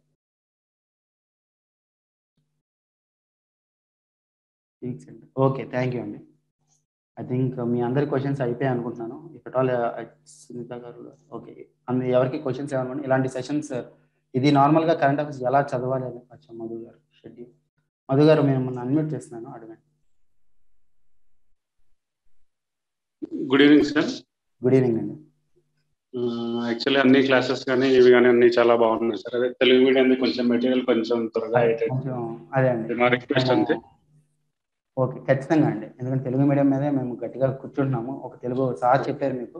ఒక తెలుగు టీమ్ అదే. ఎస్టాబ్లిష్ చేసామండి సో ఓకే. ఖచ్చితంగా మీకు డెలివరీ ఒక్క వారం వెయిట్ చేస్తున్నాం సార్ కొంచెం. ఒక్క వారం అండి ఒక్క వారం మొత్తం ఓకేనా? ఇంకొకటి సార్ అప్లికేషన్లో ఏమైనా ప్రాబ్లమ్స్ ఉంటాయి అన్ని ఒకేసారి చేసేసుకోవచ్చు సార్ ఏ ప్రాబ్లమ్స్ లేదండి. వన్స్ ఎడిట్ ఆప్షన్ క్లిక్ చేస్తే మీరు ఏదైతే చేంజెస్ చేయాలో అది చేయొచ్చు ఓకే అదే ఫోటో అది యాక్చువల్గా నాది ఓటీపీ ఓల్డ్ రిజిస్ట్రేషన్ సార్ అప్పుడు ఓల్డ్ ఒక five six years back photo మార్చుకోండి. నేను దాంతోనే సబ్మిట్ చేశాను ఫస్ట్ ఫస్ట్గా. ఎడిట్ చేసుకుని ఫోటో మార్చుకోండి. ఓటీపీఆర్ ఎడిట్ చేసి మళ్ళీ అప్లికేషన్ సబ్మిట్ చేయాలా లేదంటే జస్ట్ ఓటీపీఆర్ ఎడిట్ చేయాలా ఓటీపీఆర్ ఎడిట్ చేసిన అప్లికేషన్ రీసబ్మిట్ చేయాలి. నార్మల్ మీరు అప్లికేషన్ సబ్మిట్ చేస్తే మీ ఓటీపీఆర్ డీటెయిల్స్ బట్టి అప్లికేషన్ సబ్మిట్ చేసినట్టు. ఏంటంటే మీరు ఓటీపీఆర్ చేంజ్ చేసుకున్నా అది నెక్స్ట్ దానికి అప్లై అవుతుంది. సో ఇక్కడ ఏంటంటే మీరు ఓటీపీఆర్ చేంజ్ చేసుకుని అది అప్లికేషన్ సబ్మిట్ చేస్తేనే ఈ డీటెయిల్స్ పరంగా అప్రూవ్ అవుతుంది. అర్థమైందండి? అది మళ్ళీ మనకి ఛాన్స్ ఇస్తారా సార్? అది అయిపోయిన తర్వాత. ఆ, ఇప్పుడు ఓటీపీఆర్ చేంజ్ చేసుకుని మీరు అప్లికేషన్ రీసబ్మిట్ చేయాలి. అప్పుడే అప్డేట్ అయిన డీటెయిల్స్ సబ్మిట్ చేయగలరు. అప్లికేషన్ డేట్ అప్లికేషన్ డేట్ అయిపోయింది కాబట్టి ఇప్పుడు మళ్ళీ టైం ఇస్తారా సార్ అంటూ ఎడిట్ ఆప్షన్ ఇచ్చారండి. ఓకే ఎడిట్ ఆప్షన్ ఇచ్చారా సార్? అంటే ఎడిట్ చేసుకోవచ్చు సార్ ఇప్పుడు? ఓకే చేసుకోవచ్చు. ఓకే అండి ఫోటో ఒకటి ఎడిట్ చేసుకోవచ్చు. Okay sir. Right thank you okay sir thank you sir. Thank you అండి. ఇంకా క్వశ్చన్స్ ఎవరికి లేవనుకుంటున్నాను. ఇంకా ఓకే డేట్ ఉండ డేట్ ఉండాలండి. ప్రాబ్లమే అది. సో ఏమో వాడు కరుణిస్తే అయిపోతుందండి. బట్ ఏంటంటే ఎప్పుడైతే వాడికి చిరాగ్గా ఉన్నాడో రిజెక్ట్ చేసేది. సో వాడు ఇచ్చిన గైడ్ లైన్స్ ప్రకారం ఓటీపీఆర్ గైడ్ లైన్స్ క్లియర్గా మెన్షన్ చేశారండి. మీ ఫోటో పైన డేటు మీ పేరు ఖచ్చితంగా ఉండాలని. ఓటీపీఆర్ గైడ్ లైన్స్ షేర్ చేయాలంటే మీరు ఏపీపీఎస్సీ వెబ్సైట్లోకి వెళ్ళి ఒకసారి చూడండి. ఓటీపీఆర్ గైడ్ లైన్స్ ఉంటాయి. దాంట్లో ఖచ్చితంగా మెన్షన్ చేస్తారు కాబట్టి వాడు చెప్పింది ఫాలో అవుదాం. ఎంతండి పెద్ద కష్టమేం కాదు కదా.